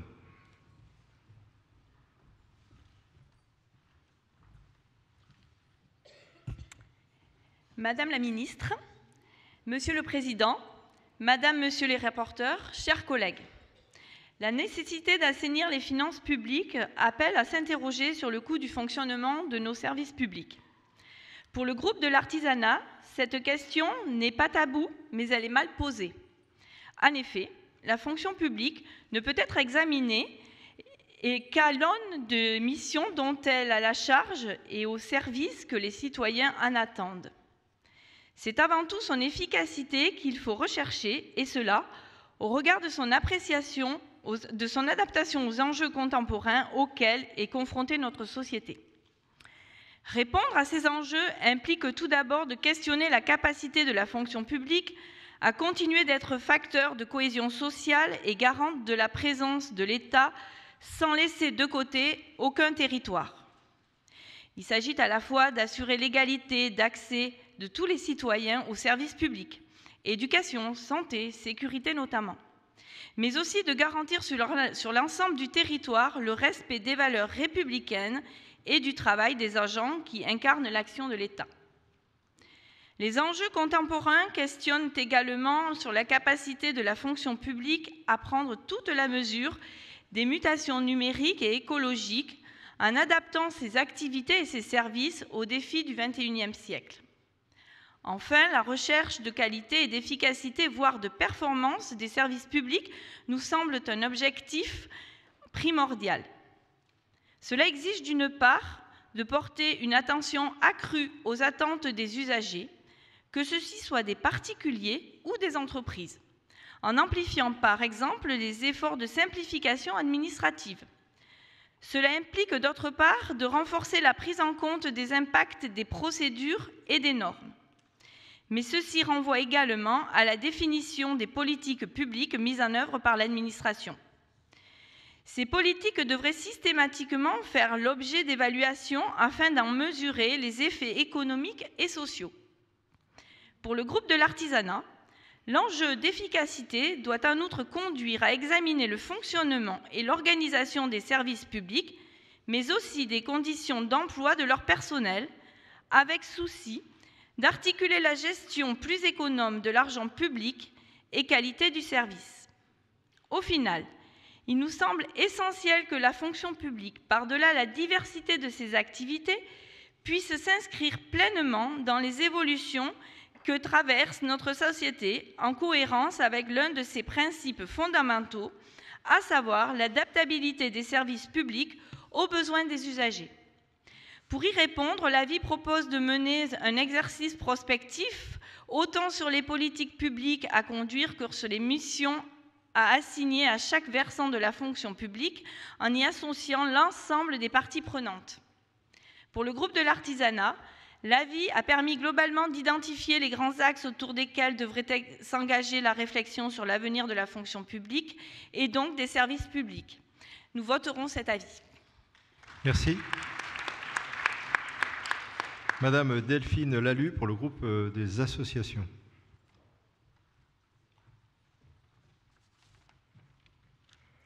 Bonjour, chers rapporteurs, chers collègues, monsieur le questeur, cher président de la commission temporaire. Nous voterons le projet d'avis avec conviction pour trois raisons principales. Ce texte rappelle les principes fondateurs de notre fonction publique et leur robustesse au regard des enjeux actuels il n'appelle à aucun grand soir de la simplification ou de l'évaluation, mais préconise des évolutions souhaitables, concrète et de bonne aloi, pensée dans une perspective de long terme. Il est volontairement non conclusif et présente de nombreux points d'appui pour l'élaboration d'une feuille de route, feuille de route qui doit être conçue par les élus du peuple, dont c'est la responsabilité, dans le cadre d'une démarche de co-construction avec l'ensemble des acteurs au plan national et sur les territoires. Ce troisième point est essentiel pour notre groupe. S'il appartient au pouvoir législatif de définir les missions de la fonction publique, à l'exécutif d'en assurer le fonctionnement, le texte affirme le rôle indispensable des agents et du dialogue social interne pour penser son adaptation aux besoins de notre société. Il reconnaît l'expertise d'usage des citoyens et recommande d'associer l'ensemble des parties prenantes à cette noble ambition. Le groupe des associations soutient donc toutes les recommandations formulées dans le projet d'avis, en particulier celles qui accordent une juste place à la société civile dans le processus de conception et d'évaluation des politiques publiques, exercice de prospective stratégique, assises nationales et territoriales de la fonction publique, bilan du Conseil national des services publics avec prise en compte des attentes de la société, saisine des corps d'inspection par les organisations syndicales ou par les associations représentatives, surtout mobilisation du CESE et des Césaires en amont et en aval. Enfin, nous tenons à rappeler que les associations et les fondations agissent librement aux côtés des agents de l'État, des collectivités et de l'hôpital pour faire vivre l'intérêt général, intérêt général dont la puissance publique est bien évidemment la seule garante. Nous remercions l'administration car une fois de plus, euh, elle a su se mobiliser dans cette période difficile et elle illustre bien euh, les préconisations auxquelles nous tenons. Merci. Merci. Monsieur Albert Isenthaler pour le groupe de la CFDT.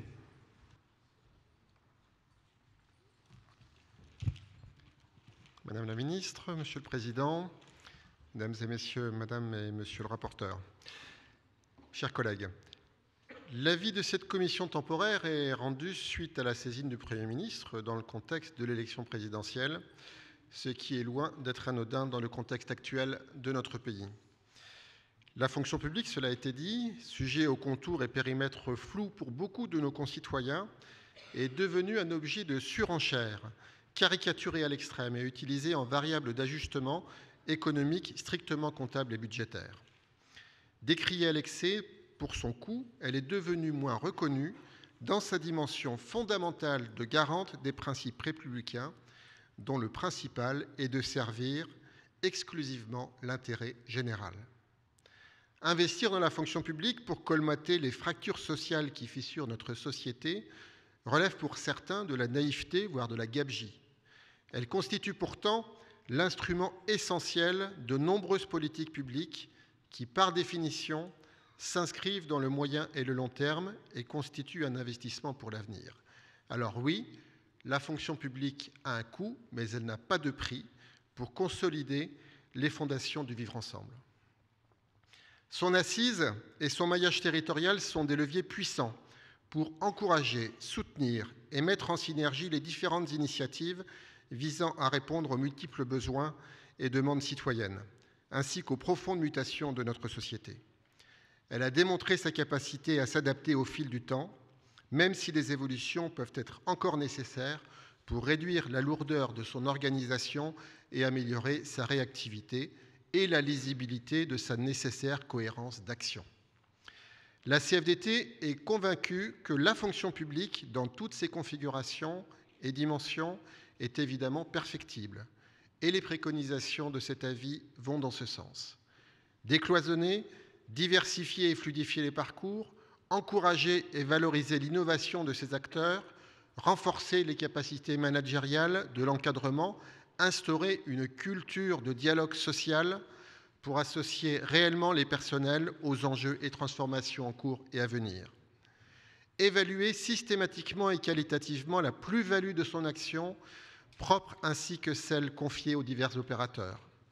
Considérer enfin que l'ouverture à la participation citoyenne dans la définition, l'adaptation, la réalisation et l'évaluation de ses missions et des moyens qui lui sont dédiés lui permettra de mieux accomplir ses missions et constitue un atout essentiel à la revalorisation de son image et, au bout du compte, à sa pérennisation. Cet avis de la société civile organisée dans notre instance représente dans la période une parole à la fois singulière, nécessaire et bienvenue. La CFDT votera l'avis. Merci.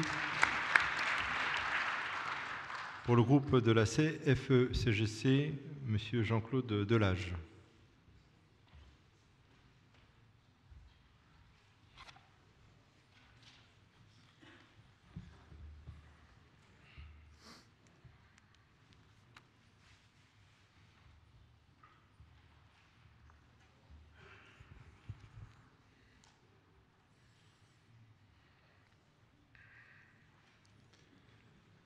Madame la Monsieur le Président, Mesdames et Messieurs, ce projet d'avis qui fait suite à une saisine gouvernementale dresse un tableau exhaustif de ce qu'est la fonction publique aujourd'hui dans notre pays. Il convient plutôt de parler des fonctions et services publics.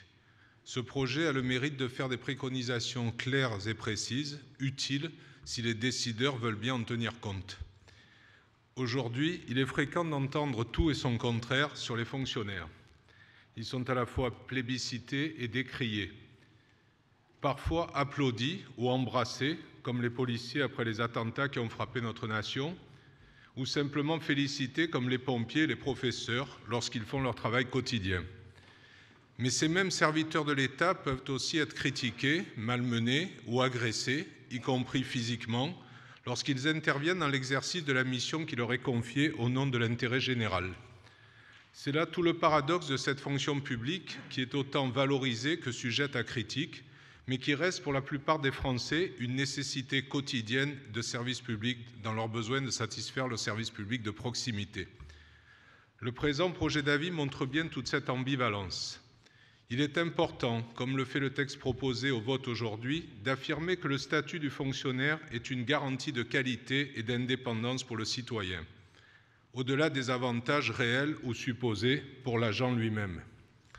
Ce statut est porteur de valeurs républicaines et demeure le meilleur outil pour répondre à l'exigence d'exemplarité et d'indépendance souhaitée par nos concitoyens. Pour la CFE-CGC, les statuts particuliers demeurent aussi indispensables au regard des métiers exercés.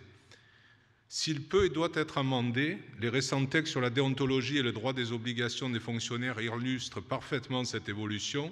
Le maintien de ce statut est pour nous, CFE-CGC, un préalable à toute discussion ou préconisation sur des possibles réformes de notre fonction publique. Pour notre groupe, il est souhaitable d'adapter la fonction publique à l'avenir, notamment par rapport au numérique ou encore aux questions environnementales, mais il n'est certainement pas utile ni juste de tout changer, comme semblent préconiser certains, mensuel de l'IFRAP, juillet-août 2016, statut, prime, évaluation, temps de travail, tout changer. Par ailleurs, pour la CFE-CGC, il est important d'intégrer la notion de qualité de vie au travail des agents et la question de la reconnaissance salariale dans toute discussion sur une évolution et une adaptation de la fonction publique aux défis de demain. La signature par la Fédération CFE-CGC des services publics du plan parcours carrière-rémunération répond en partie à cette exigence. Le projet d'avis présenté s'attache à placer la question de la gestion des ressources humaines, y compris au sein de chaque ministère, comme une question majeure qui accompagne celle du nécessaire dialogue social ministériel et interministériel, et ceci est une bonne chose. Pour la CFE-CGC, la question d'une fonction publique de métier reste un point important qu'il convient d'intégrer à la réflexion. Concernant les préconisations du projet d'avis, notre groupe s'associe aux propositions formulées et se trouve en accord avec la plupart des préconisations présentées particulièrement sur la question de la redéfinition des missions et le retour des agents sur leur cœur de métier, mais aussi sur la question d'une formation initiale adaptée, plus en lien avec la réalité du terrain et une formation tout au long de la vie plus prégnante. Enfin, nous souhaitons évoquer la question des retraites et des spécificités des métiers au sein de la fonction publique d'État qui, selon nous, expliquent et justifient des schémas différents selon les activités exercées. La question de la pénibilité est aussi une question importante et qui mérite une attention toute particulière concrètement évoquée dans ce rapport. Permettez-moi de conclure, oui Monsieur le Président, j'y arrive, permettez-moi de conclure en évoquant la question de l'encadrement, qui pour nous, CFE-CGC, est au cœur de l'action publique et de tous les projets d'évolution. Il ne peut y avoir de réforme sans prise en compte des idées des agents et en particulier de celles de l'encadrement, car aucune évolution ne peut se faire contre les personnels et aucune réforme, si utile soit-elle, ne peut être mise en œuvre sans l'engagement des agents concernés. Le service dû au rendu aux citoyens dépend largement de l'engagement de ces femmes et de ces hommes qui composent le service public. C'est mon côté provoque. Au regard des préconisations effectuées et des orientations générales, la CFE-CGC votera le présent rapport. Merci. Je rappelle à tous les groupes que ces trois minutes, c'est un problème d'équité. Donc, euh, essayez de le respecter, s'il vous plaît. Monsieur Bernard Vivier, qui respectera les trois minutes, j'en suis sûr. Oui. Merci. Sinon, monsieur Pour le, groupe de la. CFTC. Voilà. Madame la ministre, Monsieur le Président, euh, Madame et Monsieur les rapporteurs, chers collègues, il faut que tout change pour que rien ne change. Cette phrase, euh, tirée du roman Le Guépard, est souvent citée pour justifier une démarche de transformation profonde en vue de préserver au final l'essentiel de ce à quoi l'on est attaché. Précisément parce que notre fonction publique, structurée sur des principes fondateurs toujours actuels, remplit des missions essentielles au bon fonctionnement de notre société, il importe de la faire évoluer, de l'adapter, de la réformer même au sens exigeant et constructif du terme. La CFTC rend hommage aux deux rapporteurs du projet d'avis qui, avec compétence et doigté, ont conduit un exercice difficile dans un temps resserré. Notre organisation syndicale souligne la pertinence des constats. Elle approuve la plupart des recommandations émises, mais regrette que ces recommandations restent en deçà des exigences de notre temps, en particulier celles nées de la révolution numérique et des évolutions technologiques. Si nous voulons éviter les critiques souvent virulentes et injustes qui accablent notre fonction publique et ses agents, il nous faut sans hésitation passer à la vitesse supérieure, c'est-à-dire lancer une réflexion sur l'évolution de l'emploi public, accélérer le passage balbutiant à ce jour d'une logique de corps à une logique de métier, moderniser les systèmes de rémunération et de retraite, repenser les conditions et la durée du travail, instaurer des concours de recrutement communs aux trois branches de la fonction publique, déployer une DRH centrale dotée de moyens humains importants et de prérogatives fortes pour installer une mobilité, une capacité à la formation, une gestion prévisionnelle de l'emploi et des compétences dignes de ce nom, il faut promouvoir le compte personnel d'activité. L'avis que nous examinons contient des recommandations en ce sens, mais trop timides à nos yeux. Notre organisation regrette que les réflexions sur le rôle de l'encadrement ne soient pas insérées dans le chapitre consacré à la conduite des changements et se trouvent curieusement placées dans le chapitre des responsabilités. Or, que sont des responsabilités, des missions ou des compétences attribuées à des encadrants sans les moyens et la capacité d'agir? La CFTC aurait souhaité que la recommandation numéro 6, qui est importante, qui est en réponse à la demande explicite de la saisine gouvernementale du Premier ministre, soit renforcée pour donner aux cadres et encadrants un rôle dans la conduite des équipes et la gestion des ressources humaines et des carrières, dans l'organisation et le fonctionnement des services. Plus qu'un débat sur la réduction du nombre de fonctionnaires trop présents aujourd'hui, notre pays a besoin d'ouvrir sans tarder le chantier de la modernisation de sa fonction publique. Il faut assurément que tout change pour que tout demeure et non pas tout conserver en l'état pour que rien ne change. Le vote de la CFTC en faveur du projet d'avis se comprend comme une invitation à s'engager dans cette démarche. Merci. Pour le groupe de la CGT, M. Benoît Garcia.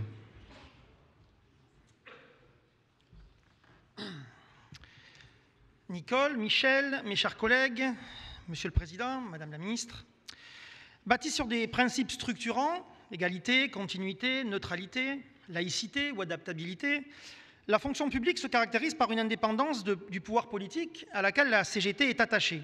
C'est cette notion de, forte de fonctionnaires citoyens qu'a rappelé Anissé Lepors lors de son audition et qui est garantie par leur statut, si souvent décrié et caricaturé. La vie montre que sa remise en cause aurait des effets négatifs, y compris en termes de finances publiques. Mais on ne peut pas seulement réaffirmer la pertinence d'un statut en évacuant la question des moyens et des financements, ni l'extraire de la réalité des politiques d'austérité. La CGT, se félicite que la fonction publique soit considérée comme un investissement et non pas comme un simple coût. Mais elle regrette que la question budgétaire ait été évacuée. Le CESE aurait pu explorer les financements, d'autant que l'avis confirme que les moyens doivent être définis à partir des missions. Principes, droits, devoirs et financements sont autant de garanties pour les usagers et citoyens d'avoir un service public de pleine compétence et de proximité sur tout le territoire. C'est pour ça que la CGT a contesté l'approche par la seule subsidiarité qui pourrait conduire à des choix en contradiction avec les principes et les missions. Enfin, l'avis ne traite pas suffisamment des enjeux relatifs à la carrière des fonctionnaires et des agents publics qui mettent en œuvre au quotidien les politiques publiques sans réelle reconnaissance. Et si l'encadrement doit avoir un rôle réaffirmé, dans la définition et dans l'exécution des missions, la CGT considère que c'est l'ensemble des personnels qu'il convient de prendre en compte. Alors nous mesurons et nous félicitons de nombre de préconisations qui vont dans le bon sens sur les conditions de vie et de travail, sur les questions d'égalité femmes-hommes, sur la diversité et les discriminations, sur la formation initiale et continue, le rôle des écoles de service public, sur la nécessité du dialogue social et sur la prise en compte du long terme, de la prospective et de l'évaluation, ou encore sur la politique d'emploi ou le contractuel. Mais l'expérience quotidienne, notre expérience quotidienne montre qu'au-delà des déclarations d'intention, si justes soient-elles, des mesures contraignantes sont nécessaires. Quand le gouvernement a saisi le CESE sur l'avenir de la fonction publique, la CGT était interrogative sur les convergences possibles pour produire un avis pertinent et ambitieux. La contrainte de temps a accentué ces réserves. Le travail produit par la commission, temporaire, les rapporteurs, l'engagement des équipes administratives doit être salué et l'avis qui en résulte réaffirme des principes fondateurs fortement remis en cause aujourd'hui. Mais dans ce contexte précisément, les préconisations auxquelles on aboutit restent en deçà des enjeux pour une fonction publique, véritable outil de progrès. Et c'est pourquoi la CGT s'abstiendra sur cet avis. Merci. Merci. Monsieur Christian Grolier pour le groupe CGT FO.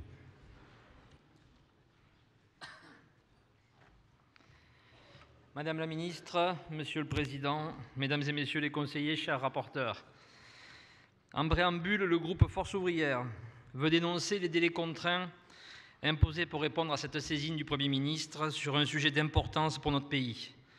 De même, en raison de cette contrainte, FO considère que la méthode de travail employée en ouverture de cette saisine, basée sur un travail dit de prospective, oriente et enferme les conseillers sur des thèmes préemptés par cette méthode. Malgré ces contraintes fortes, le groupe FO remercie le président de la commission, les rapporteurs et l'ensemble de l'administration pour leur écoute et leur volonté de prendre en compte les idées de chacun avec une attention forte pour le meilleur consensus possible.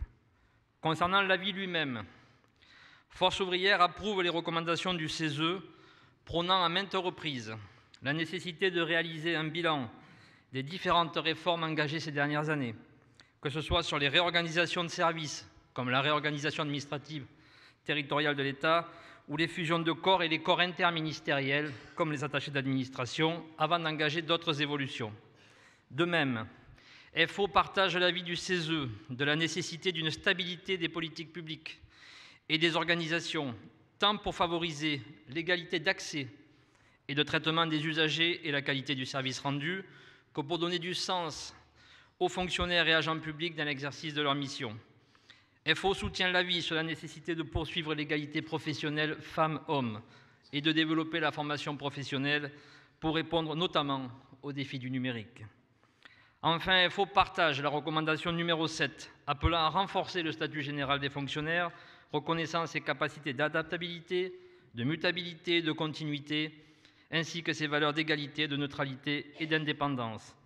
Cette recommandation est essentielle et revêt une importance particulière quand elle est portée par la société civile représentée dans cette instance.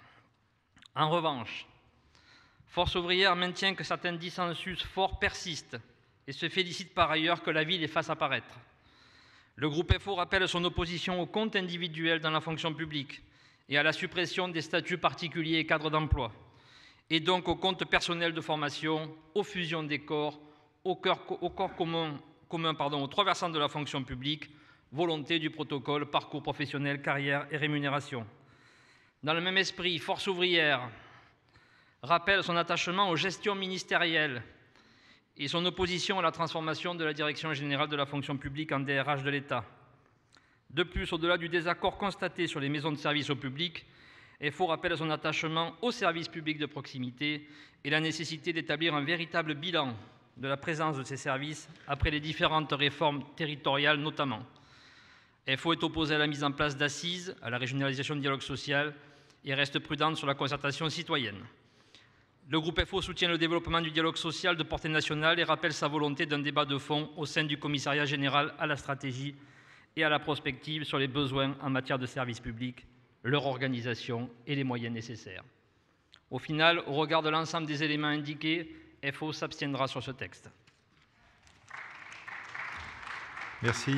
Madame Isabelle Roudil pour le groupe de la coopération.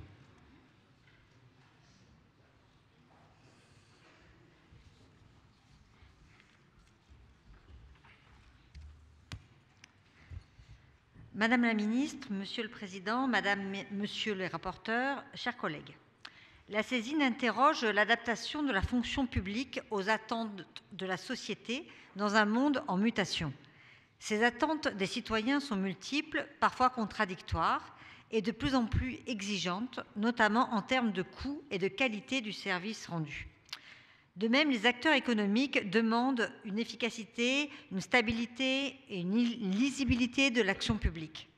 Mais comment organiser et gérer ces transformations sans ébranler notre cohésion sociale, sans fragiliser la compétitivité de notre économie, sans renoncer à un développement plus durable Pour y parvenir, nous partageons votre volonté, mesdames, messieurs les rapporteurs, de mettre en tête de la feuille de route de la fonction publique la définition de ses missions et de ses objectifs à l'horizon 2025.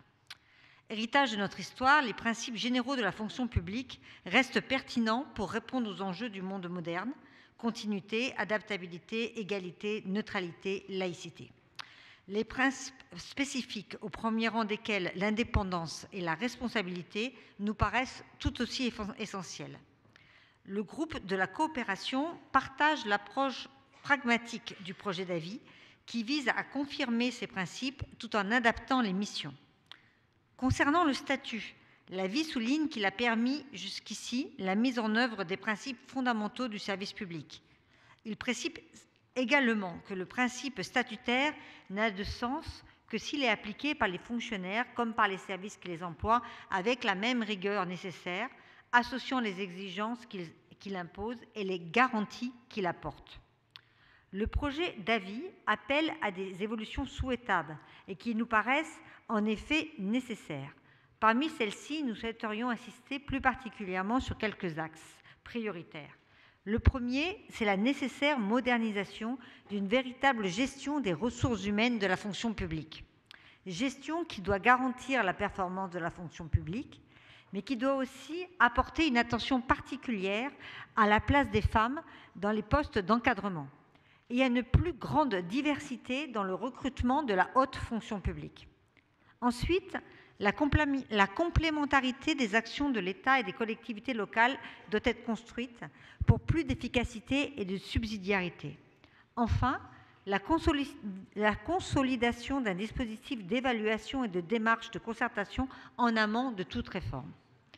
Pour le groupe de la coopération, l'évolution de la fonction publique doit être intégrée dans une réflexion plus générale et programmatique sur la redéfinition des missions de l'État, garant de l'intérêt général, et qui, dans un monde complexe et mondialisé, doit être avant tout stratège et régulateur.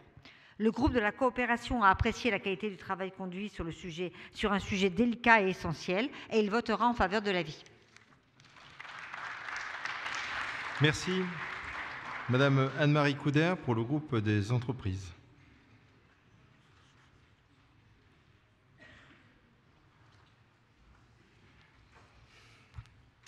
Madame la ministre, Monsieur le Président, Madame la rapporteure, Monsieur le rapporteur, chers collègues, Dès le début de cette saisine, le groupe des entreprises a tenu à avoir une attitude constructive et prospective.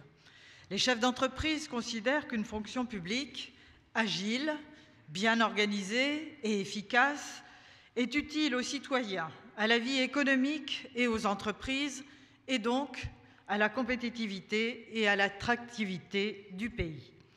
Cependant, dans un contexte de transformation profonde, en France comme dans le monde, une métamorphose de la fonction, publique est absolument nécessaire. La France enregistre en 2015 le deuxième ratio de dépenses des administrations publiques le plus élevé de l'Union européenne, à 57% contre 48,9% en moyenne pour les pays de la zone euro. Si le périmètre des prestations publiques offertes aux citoyens varie entre pays et justifie en partie certaines différences, cet écart de plus de 8 points est reconnu par une très grande majorité des acteurs socio-économiques et politiques comme difficilement supportable pour l'économie de notre pays.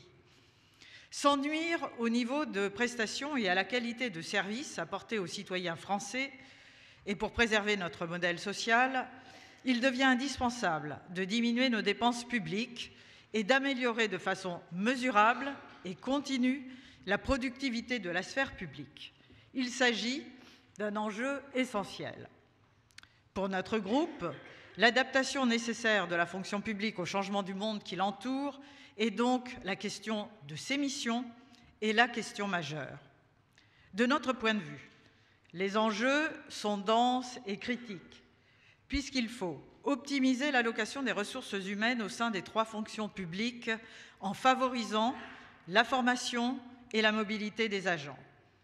Accompagner l'ensemble des agents, et notamment les managers, dans le développement d'une culture de l'efficience, grâce à un dialogue social plus efficace et en appliquant les méthodes modernes de conduite du changement. Instaurer de nouvelles méthodes de travail pour améliorer la productivité tout en développant la qualité du service, notamment grâce au numérique. Les Français sont attachés à la fonction publique, ils sont aussi les premiers à en constater des manques et des incohérences. Le groupe des entreprises croit profondément à la possibilité de la réforme de la fonction publique au bénéfice de tous, y compris des agents eux-mêmes. Cela nécessite un véritable changement de culture et une évolution des mentalités. Il nous faut encourager la nécessaire adaptation du statut ou encore rompre avec euh, certaines pratiques managériales fondées sur une approche souvent très, très hiérarchique et peu participative. Il nous faut aussi favoriser la recherche et l'appropriation par les agents de solutions opérationnelles réactives et efficaces et éviter ainsi certaines conduites de désengagement. L'avis présenté résulte de riches débats et de travaux de qualité pour lesquels il faut remercier ici très sincèrement les rapporteurs et le président de la commission. Il propose une méthode de travail qui permet de sortir des postures pour aborder les sujets de fond. Il donne des pistes pour que la fonction publique française soit davantage à l'image de la société les recommandations relatives à la méthode de redéfinition des missions, à l'organisation et au développement de la mobilité, comme l'ouverture des concours, à la formation, comme le recours à l'apprentissage, ou encore à l'évaluation des politiques publiques, vont dans le bon sens. Il en est de même des assises nationales et territoriales du service public. Le groupe des entreprises, après des débats soutenus, considère qu'il y a certes urgence à agir et que cet avis va véritablement dans la bonne direction. Il le votera. Merci. Merci.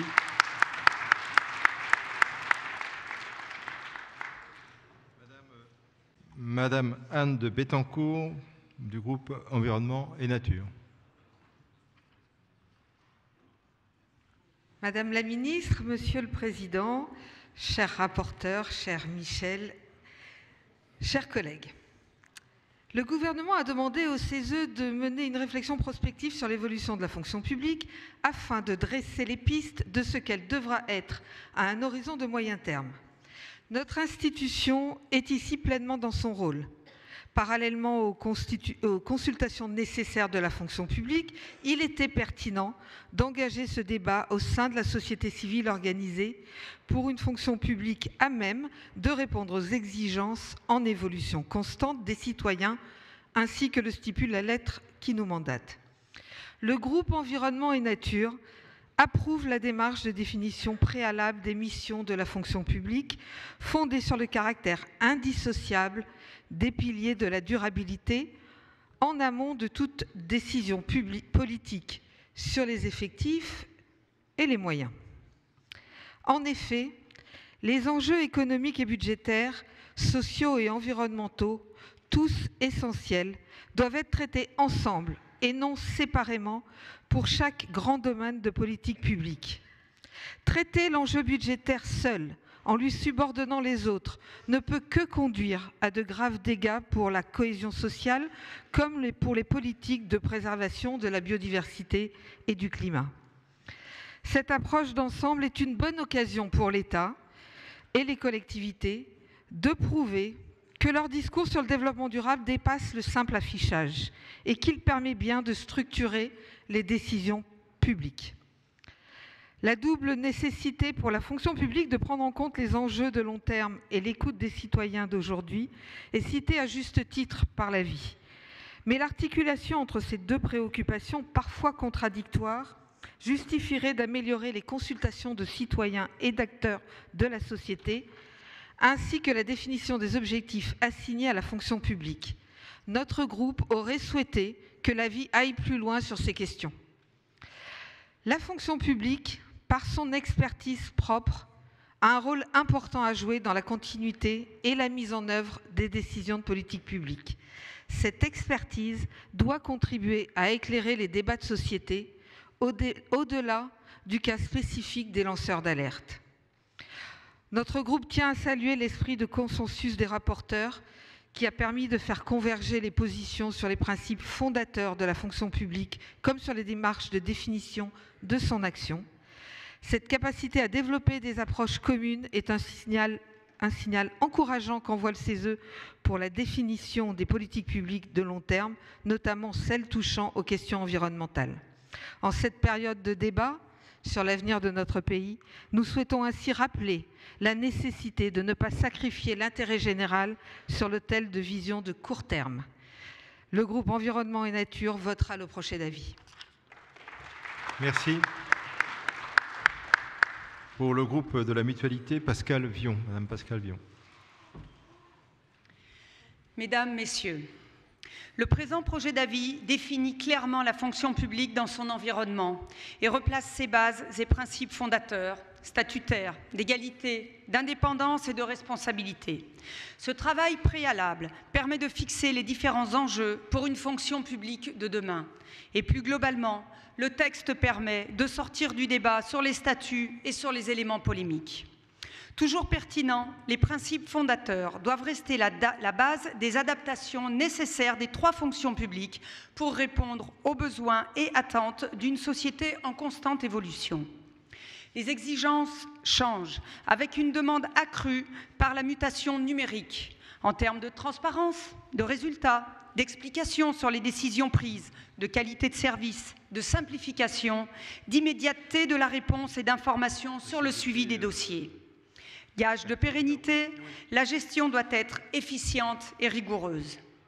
Si le groupe de la mutualité est très sensible à l'ensemble des services apportés, nous souhaitons insister sur l'accompagnement des mutations dans le domaine de la santé, qui depuis plusieurs décennies est toujours dans le top 3 des préoccupations de nos concitoyens et concitoyennes. L'accès aux soins est une question primordiale pour laquelle le service public hospitalier est un élément fondamental. La qualité des soins dans les établissements hospitaliers est source d'interrogations liées aux baisses des effectifs qui, par ailleurs, ont des conséquences sur les conditions de travail, les horaires et la santé des personnels soignants. Il faut des lieux de concertation et d'échange, et nous soutenons les propositions structurantes de construction d'une feuille de route dans le dialogue et la concertation, d'adaptation du Conseil national des services publics, de consolidation du dispositif d'évaluation et de mise en place d'expérimentations. La fonction publique se doit d'être exemplaire en tout point notamment sur la question de l'égalité entre les femmes et les hommes. Nous remercions les rapporteurs et les membres de la commission temporaire d'avoir su placer cet enjeu de justice sociale et sociétale au sein de la vie, décliné dans des recommandations pour lutter contre les phénomènes de ségrégation professionnelle dès la primo-nomination accès à tous les métiers, accès aux postes les mieux rémunérés, transparence des procédures de nomination, flexibilité et aménagement pour concilier la vie professionnelle avec la vie privée. Les valeurs portées par la fonction publique nécessitent motivation et volontarisme, exigent d'être performants en termes de management. Au-delà de la qualité de vie au travail, facteur indispensable de réussite, cet avis traite des différents volets des ressources humaines, diversité sociale, déroulement de carrière, encadrement, mobilité, pénibilité, formation et politique d'emploi des contractuels. Sans décliner ce panorama, nous insistons sur la contribution du dialogue social pour lequel le CESE a produit un avis remarqué. L'accès aux multiples services publics doit être favorisé sous toutes ses formes et si le numérique est un outil indispensable, il n'en demeure pas moins que l'attention portée au public ne doit pas se faire par le tout numérique. Tout le monde n'a pas accès à Internet et qu'il lui-même ne doit pas se substituer totalement à une présence physique. Nous partageons les recommandations du projet d'avis que nous voterons. Merci. Madame Laure Delair, du groupe Organisation étudiante et mouvement de jeunesse.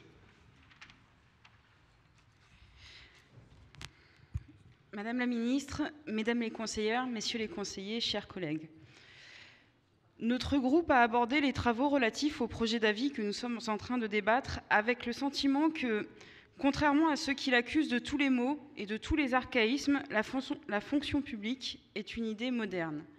C'est une idée moderne car elle est, si les pouvoirs publics se donnent les moyens de la reconnaître comme telle, un point d'appui solide pour assurer l'égalité d'accès aux services répondant aux besoins fondamentaux des concitoyens, et cela dans un monde en profonde mutation. Je ne reviendrai pas sur toutes les mutations qui ont largement euh, été citées à cette tribune. C'est une idée euh, moderne, car si nous nous penchons sur les enquêtes d'opinion, elle est pour de nombreux jeunes un cadre d'engagement considéré comme pertinent pour répondre aux aspirations citoyennes d'égalité et de démocratie, rendant ainsi du sens à l'idée de vivre ensemble et de solidarité.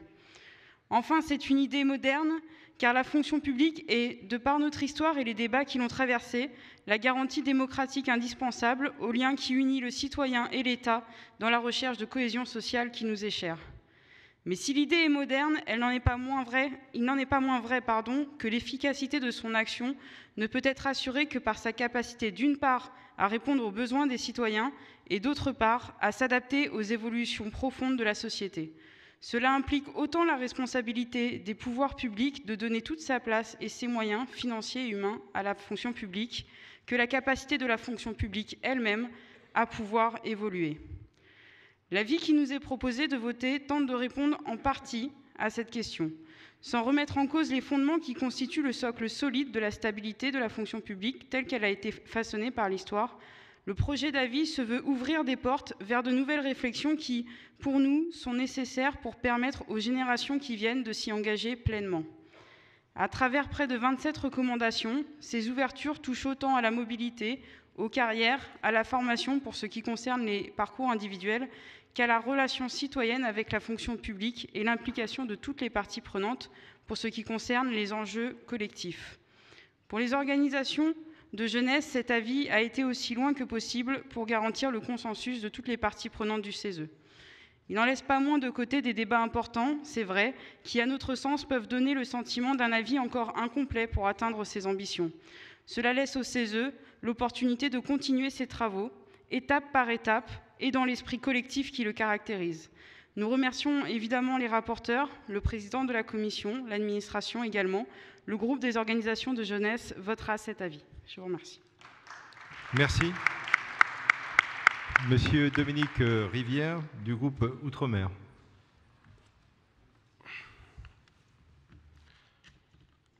Monsieur le Président, Madame la Ministre,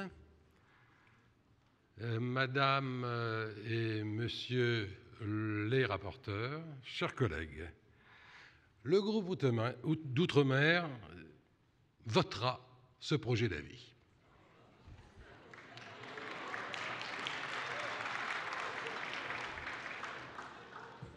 Et salue le travail de la commission de ses rapporteurs et de son président.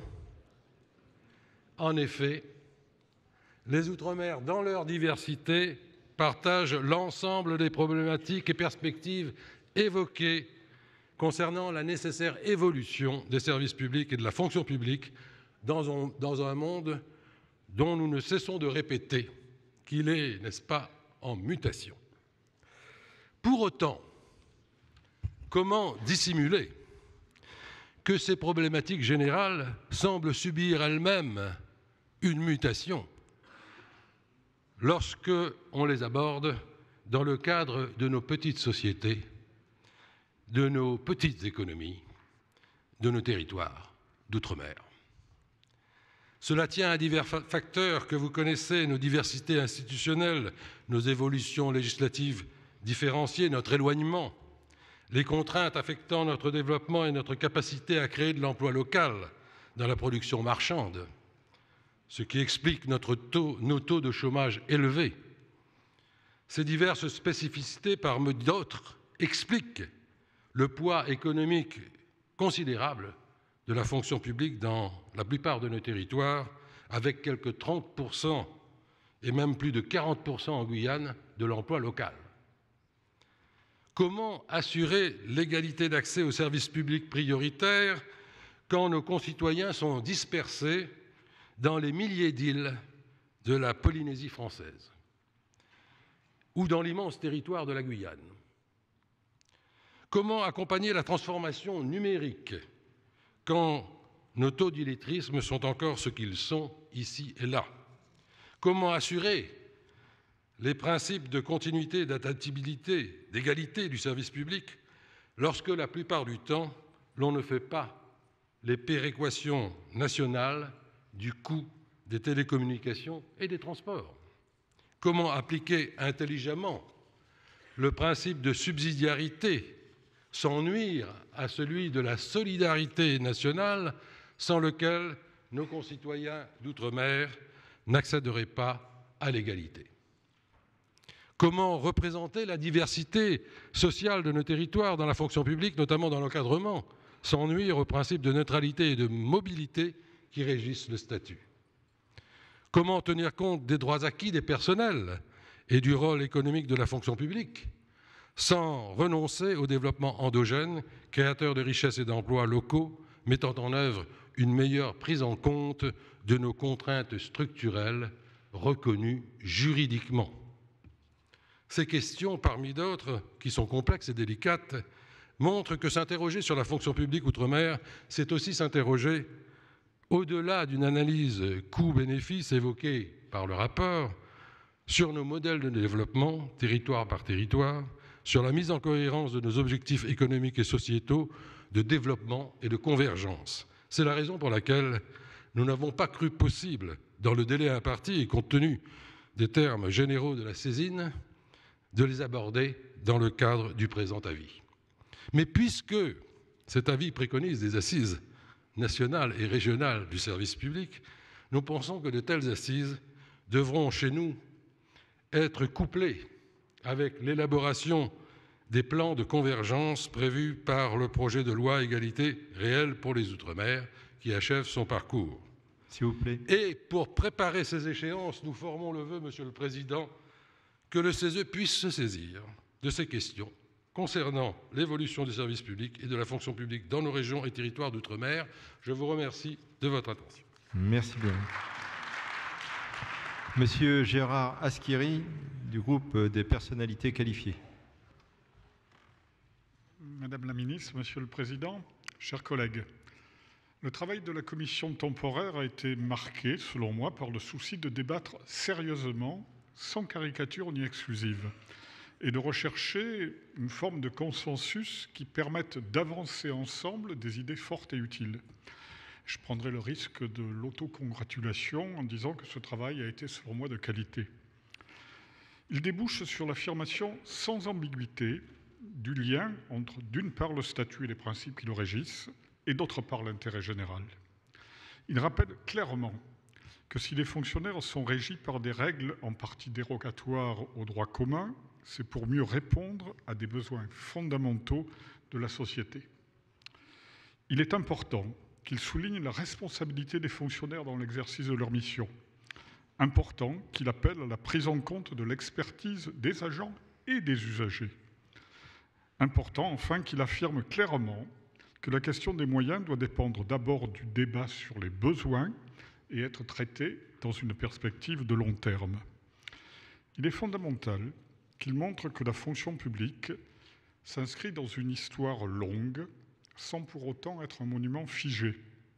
Il ne se contente pas d'affirmer le principe d'adaptabilité de la fonction publique, il fait des propositions pour mieux traduire ce principe dans les faits, en mettant en avant des démarches qui reposent sur le dialogue, la formation, le développement d'une mobilité volontaire, l'innovation, etc.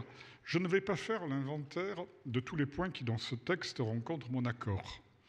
Je ne vais pas non plus pointer les manques, les sujets qui ne font pas consensus. Ils existent, même si la balance penche fortement du côté positif. Selon moi, l'essentiel n'est pas là.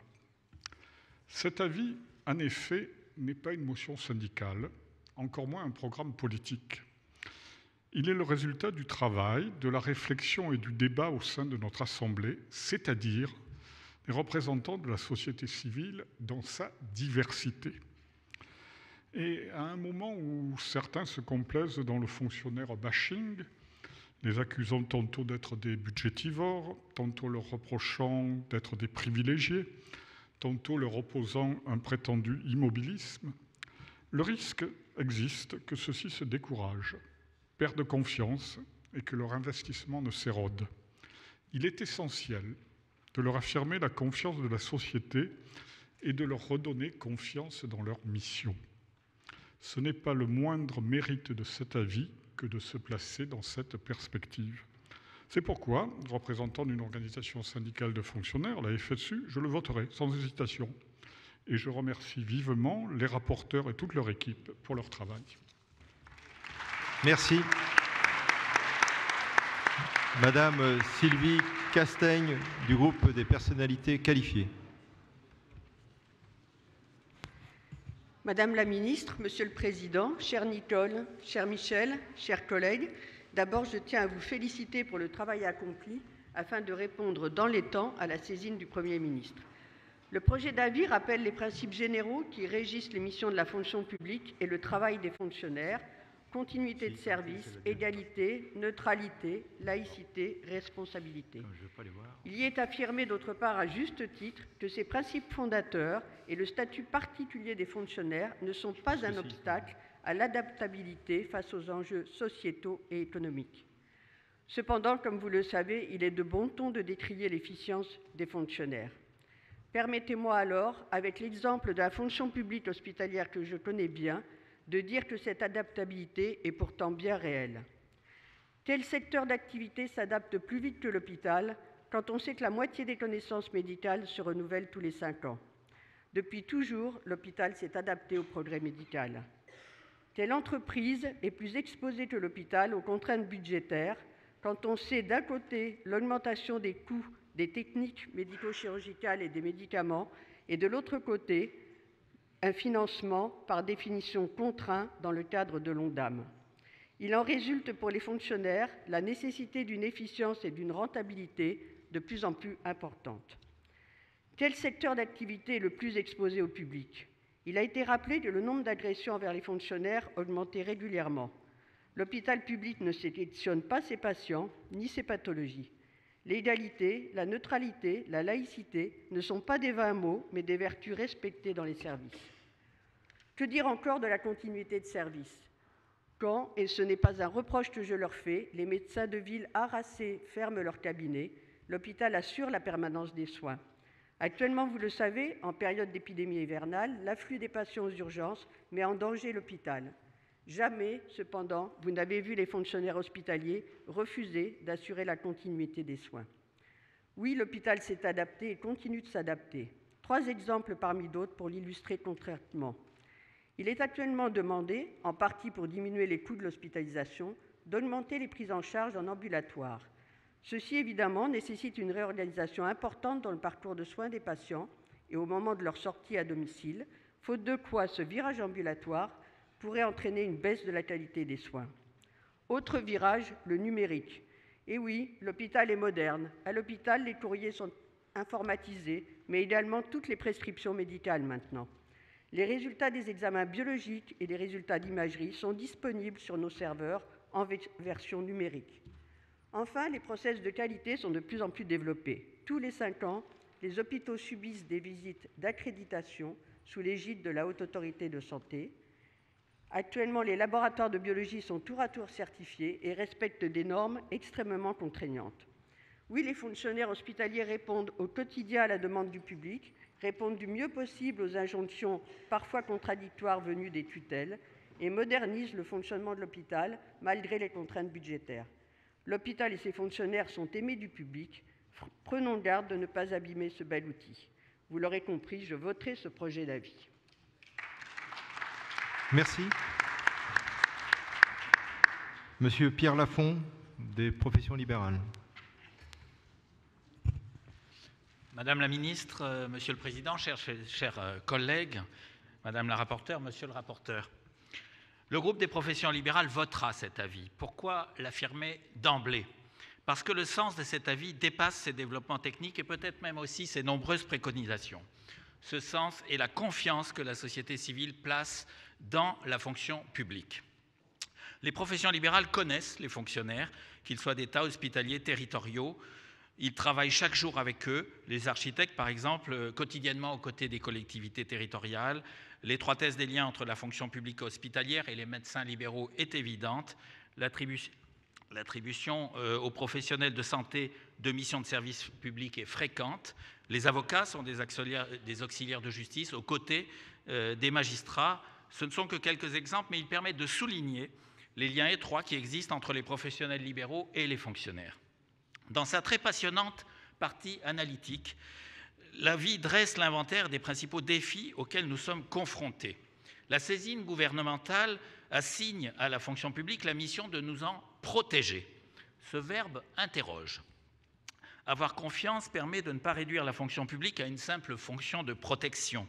D'ailleurs, l'avis souligne l'un des principes structuraux du service public, aux côtés de la continuité, de l'égalité, de la neutralité, c'est son adaptabilité. C'est bien l'adaptabilité de la fonction publique qui fonde notre confiance. C'est cette adaptabilité des fonctionnaires qui permettra au corps social non pas seulement ce qui est bien trop réducteur d'être protégé face aux nouveaux défis, mais davantage de les affronter pour y puiser les moyens d'augmenter le bien-être des populations.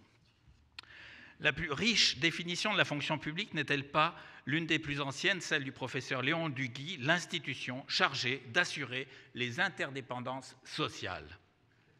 Or, ces interdépendances sont en perpétuel mouvement. Oui, la fonction publique d'aujourd'hui n'est pas celle d'hier, il n'existe plus d'allumeur de réverbères. Oui, la fonction publique de demain ne sera pas celle d'aujourd'hui. Non, ce n'est pas le statut de la fonction publique qui nécessairement devrait être modifié. Et la vie souligne à juste raison sa robustesse, c'est-à-dire précisément sa modernité dans la notion de fonctionnaire citoyen. Mais il faudra pourtant adapter la fonction publique au temps nouveau. Comment? En réservant son statut au métier pour lequel il est nécessaire d'échapper au simple lien contractuel. Toutes les fonctions d'intérêt général ne requièrent pas l'indépendance et la, carrière du grade qui caractérise la fonction publique. Ce n'est pas affaiblir notre vision de régulation étatique du marché que d'admettre que les métiers du service public ne nécessiteront pas tous que leurs titulaires dépendent de la fonction publique. Le lien qui unit les fonctionnaires à l'ensemble de la société civile rendra nécessaire que soit périodiquement vérifiée l'adéquation du recours au statut de la fonction publique à telle ou telle mission. On ne peut qu'approuver l'avis lorsqu'il avertit que le cadre de régulation défini au regard d'un contexte révolu peut freiner la capacité d'adaptation de la société aux enjeux contemporains à juste titre encore, l'avis souligne l'enjeu que représente le niveau de nos déficits publics. Pourtant, ce n'est pas une logique du nombre qui doit guider cette vérification, mais une logique de la subsidiarité. Là où le statut est indispensable, il est nécessaire. Là où il ne l'est pas, il contredit le principe d'adaptabilité. Il faut remercier les auteurs de la vie d'avoir ainsi favorisé l'expression renouvelée de la confiance que la société civile a incarnée dans le CESE place dans la fonction publique cette confiance et le gage que les fonctionnaires n'ont rien à redouter des évolutions qu'ils sauront favoriser. Merci. Monsieur Antoine Renard pour le groupe de l'UNAF.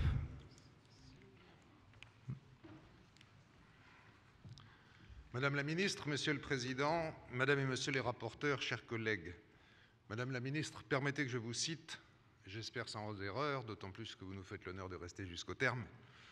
En remettant les insignes de commandeur de la Légion d'honneur à Anis et Le Port, le père du statut des fonctionnaires, vous disiez La fonction publique telle que vous l'avez pensée à l'époque avait une vocation centrale, celle d'agir comme un puissant amortisseur social pour nos compatriotes.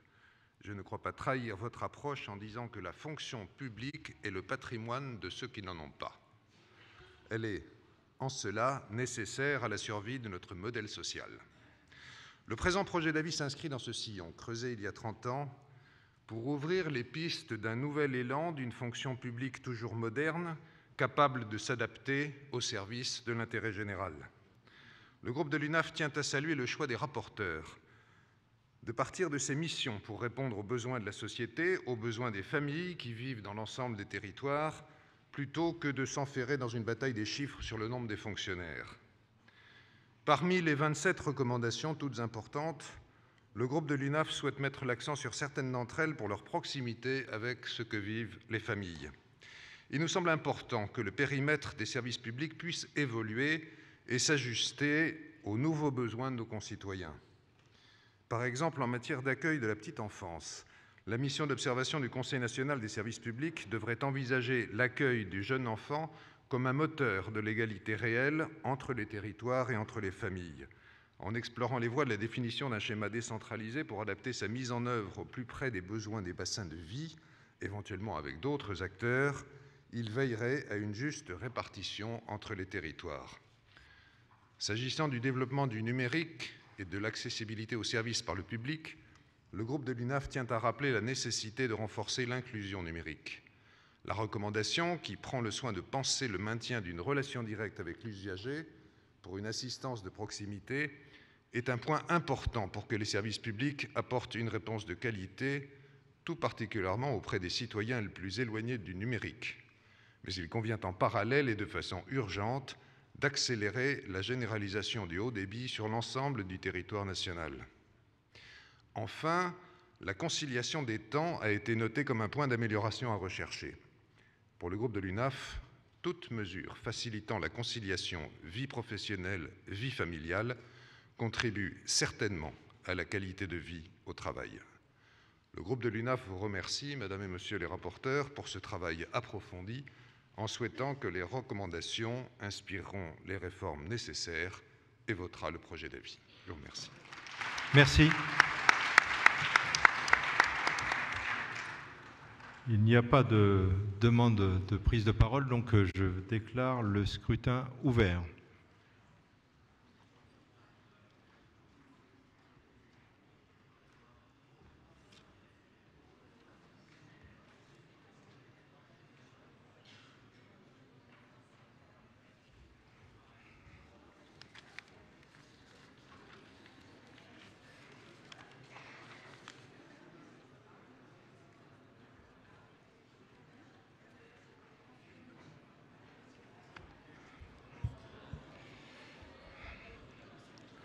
Monde euh, a voté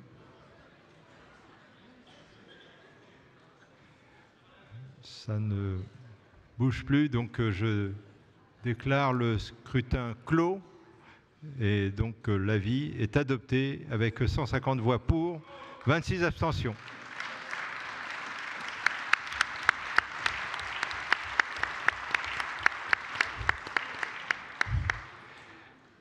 Je voudrais remercier Madame la Ministre qui nous quitte, je crois. Donc euh, merci de votre présence et que cet avis euh, puisse vous aider dans votre mission. Je vais passer la parole à peut-être au président de la section temporaire s'il souhaite faire un commentaire. Oui, j'arrive. Oui. D'abord, euh, merci, merci pour ce débat et, et merci encore une fois à nos deux rapporteurs et à l'administration de la section. Simplement, je voudrais faire une ou deux remarques. Euh, le sujet n'était pas simple. La, qualité des différentes interventions qui ont été faites tout au long de cette euh, euh, réflexion qui a duré deux mois et demi ont permis quand même d'aboutir à un certain nombre de grands principes. Et la deuxième chose sur laquelle il faut insister, c'est que ce texte peut permettre d'obtenir pour la suite un compromis sur des grandes questions comme celle de la fonction publique. Parce que euh, un des intérêts de notre institution ici, c'est d'aboutir non pas à des consensus qui n'en sont pas vraiment, mais d'aboutir à de véritables compromis pour faire avancer les choses. Or, la fonction publique, qui est un morceau du modèle social français, a été pendant très longtemps un compromis entre les forces politiques, de droite comme de gauche, et les forces syndicales et sociales. Et donc je pense que cet avis peut permettre, même s'il n'a pas tout traité, peut permettre quand même de reprendre cette voie. Il y a des grands principes de compromis auxquels il est particulièrement dangereux de toucher, surtout dans le contexte actuel. Donc euh, je pense qu'on a plutôt, surtout grâce à la commission temporaire et euh, euh, aux deux rapporteurs, ainsi que bien sûr à, l'administration, je tenais à souligner aussi que nous avions présent auprès de nous, à côté de Madame la ministre et de ses collaborateurs, les représentants des ressources humaines du ministère de la Défense. Et un certain nombre de, de représentants nous ont aidés dans la réflexion, il fallait le souligner. Donc merci encore pour ce vote et puis en espérant que ça soit utile pour celles et ceux qui, comme nous tous, considèrent que la fonction publique est extrêmement utile et que ça fait partie de notre modèle social. Merci. Je vous, rappelle euh, que demain, nous avons euh, pour notre assemblée plénière plusieurs points. Le vote d'un nouveau conseiller. Alors c'est un vote formel, donc ça prendra un peu de temps. Ensuite, on, aura aussi, euh, bien évidemment, euh, un point avec la DILCRA et un point sur un avis. Donc, il y aura trois sujets. Donc, ça va être un, moment important. Et je vous donne rendez-vous dans la salle hypostyle pour les vœux, donc, qui vont suivre dans très peu de temps. Merci bien. La séance est close.